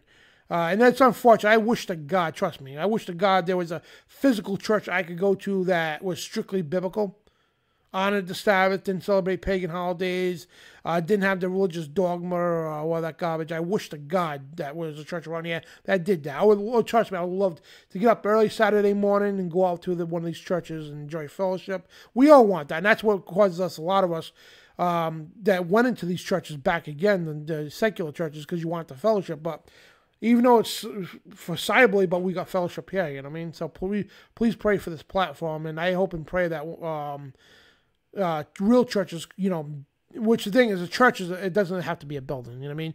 You could have a bunch of people sitting in your van or in your car or your basement or at uh, the coffee shop, you know, reading scripture, talking. That's church. You know what I mean? We're the church. You know, the scripture says we're the church. You know what I mean? The people, the saints. You know what I mean? And um, so that's what it's about. It doesn't have to necessarily be a church building. You know what I mean? And uh, so, but I, I wish there was a church building that you know we all could go meet up and there will be though. Here's the thing: that's the kingdom of God. So one day, all of us together, we're going to see each other face to face, worshiping the Lord. You know what I mean? It's going to be great. You know. But it's unfortunate um, that we don't have a physical place to go to uh, because the churches and religions have been so corrupt, man. And um, you know, it really is. And I can't uh, know what I know now. Okay, I cannot for the life of me. Okay, force myself to go to one of these secular churches, have Sunday worship, or even the ones on Saturday that go off these uh, pagan holidays. I can't do that. I can't. You know what I mean? So um, it's a it's a lonely ride, guys. I'm telling you right now, it's a lonely ride. What we we are all of us, we're all here together, but in personal lives, man, we're out there all alone. You know what I mean? But we're not alone because we got right beside you, inside you. I'm sorry, in your heart. He who is in with us is greater than all the world. So we're not alone. You know, to the world we are, yeah, but to because we're not. The thing is, too, we're not from this world. We're be God says the Jesus says to be in the world, but not of the world. You know what I mean? The world's going to hate you. The world hates me. We all know that. Okay. And, uh, and Jesus says, remember that the world hated him for us. You know what I mean? You know, plain and simple. So, um, any of those fears, uh, loneliness, or depression, guys don't have that. You know, I know it's easier said than done, but remember that. You know, we're all here together. Okay, we're not physically there. You might a lot of you guys are living at home alone. You know what I mean? living at home alone, nobody to talk to, whatever the case, and uh, we understand that. But you know what I mean? We're all going to be in the same kingdom together. So just you know, think of the old. Just look at the finish line, tunnel vision the the finish line. You know what I mean? Because when we get to that finish line, none of this is going to matter. The depression, people going through the sicknesses and all that, none of it's going to matter. Because when we get to the the end of the, when our Savior comes and says, you know, just bursts into the clouds and says, get up here. I mean? And we come up there, and uh, then Jesus, uh, the sword comes out of his mouth and just destroys every evil thing across this planet, man. And uh, makes a new heaven and a new earth after that. None of this depression, the suffering, the pain, the sorrow, none of it's even, you got to forget about it. Here's the thing, because you remember your last time you really think about it, right? You like, just say years ago you had a toothache, right? right. Excruciating pain. And we, you know, finally got to the dentist, it was gone. Then you just completely forgot about it. That's exactly how it's going to be. While you're going through the pain, oh man, you don't really, you don't forget because you, you're forced not to forget. But when you get to that point when it's gone, you know, you know what I'm saying. So when we get to the the kingdom, man, none of this is going to matter. You know, what I mean, we're not going to forget about. We're going to completely forget about all that pain and suffering. Like Joe was saying, man, when he um, had that vision, or I truly believe that he was in the kingdom. Uh, God brought him there to show him whatever. I truly believe that. And he said you didn't, you know, he was saying that you didn't even think about this life, whatever. Didn't, you know, which I truly believe that's the kingdom, uh, you know, presence. He was in the presence of God, and that's how we're gonna feel. You're not even gonna think about it. You're not even who's who's gonna want to come back. Know, I mean, seriously. You know, who's gonna want to come back to this world if you're in that world? You know what I mean? So uh, just think of it that way, man. So guys, we're gonna call it the night here, and uh, it's such a great night, man. Uh, great morning, great Shabbat, Shabbat there. You know, so great uh, fellowshipping with you guys. You know, it really is. And um, I hope you all enjoyed the show. And by the way, guys, like the new show we do, this show, please, by all means, do not, do not let any of this frighten you, depress you, or anything like that. But here's the thing we might be in the midst of evil. Yes, we're entrenched in evil. Evil's everything, overshadowing everything, right? But the thing is, who are we? We're the children of God, right? Who's in us? Jesus Christ, the Holy Spirit. He who is in us is greater than all the world. We are the lights and beacons in this great blackness of crude oil of evil, you know what I mean, in this world. We are the beacons of light, you know, do Jesus Christ, you know what I mean? And what we do now is we're bringing people, we're witnessing, we're, winning souls, hopefully, you know what I mean, stuff like that. And so don't be afraid of any of it. None of it, even if it can physically, if God even allows it to kill you personally, uh, physically, right? It can't take your soul. And all they'll be doing is a favor is send you home to the Father. So don't don't fear none of this stuff. Yes, uh, good to know all this, absolutely, but don't fear it. And if that news depresses you guys and it makes you deed away your work from God, please don't ever watch the news again or whatever. You know what I mean? Number one important thing is knowing the scriptures. And I myself, okay, uh, uh, I gotta start reading more myself. You know what I mean? There's times I read a bunch and all of a time, a week or two, I'm like, uh, like touch on it here and there. You know what I mean? And uh, I myself, okay, I gotta start reading more in the scripture myself. That's more important than reading what's going on over in uh, the United Nations or something like that. You know what I mean? Which is important to expose whatever. But number one is reading the Word of God, which I'm guilty lately. I haven't been reading as much as I should have. You know what I mean? So um, other than that, guys, uh, I'm gonna call it a night here. And thank you guys for the call and everything. And let me get to my outros here. So um, yeah, next Friday I don't know if um, we're gonna be doing a live show because I don't work on the Sabbath. I don't, and I work third shift, as you all know. Um, one of the guys I work with, unfortunately, where I work is only two of us that do third shift. Nobody wants to do it. it stinks. You know what I mean? I usually got uh, Friday and Saturday and Sunday night off. You know what I mean? And uh, well, Friday and Saturday night off for the Shabbat. But uh, he's a young kid. He's like 22 years old. He's going through some very horrible times, and his grandmother and everything. And I don't work on the Sabbath, and um, please, Lord, forgive me for that. But I I mean, I'm the only one, his only choice. You know, other than that, he would have to come into work, and he's got some very, very bad stuff going on in his family. And I hope the Lord forgives me. So I do have to work for him. So unfortunately, I won't be able to do a live show. I will do a show, and it'll be pre-recorded, but I will be monitoring on the chat. Uh, but we won't be able to do phone calls next week or nothing like that. And I apologize, guys. Um, but I'm just doing it to help this guy out. You know I mean? The guy's in a tough position, man his parents, and uh, just uh, all kinds of hell the poor guy's going through. He's got a new job here now. I got him the job to a friend of mine from the gym, but um, yeah, just uh, try to do what I can to help him out. You know what I mean?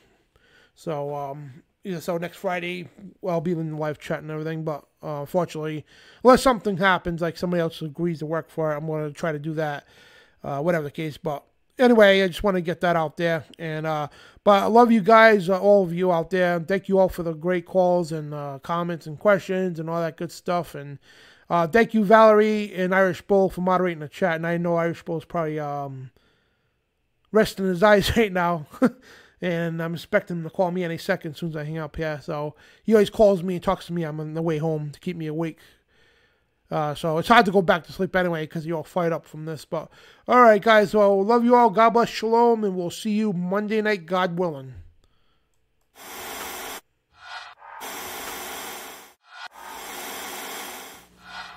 Declaring war on the New World Order. TruthRadioShow.com.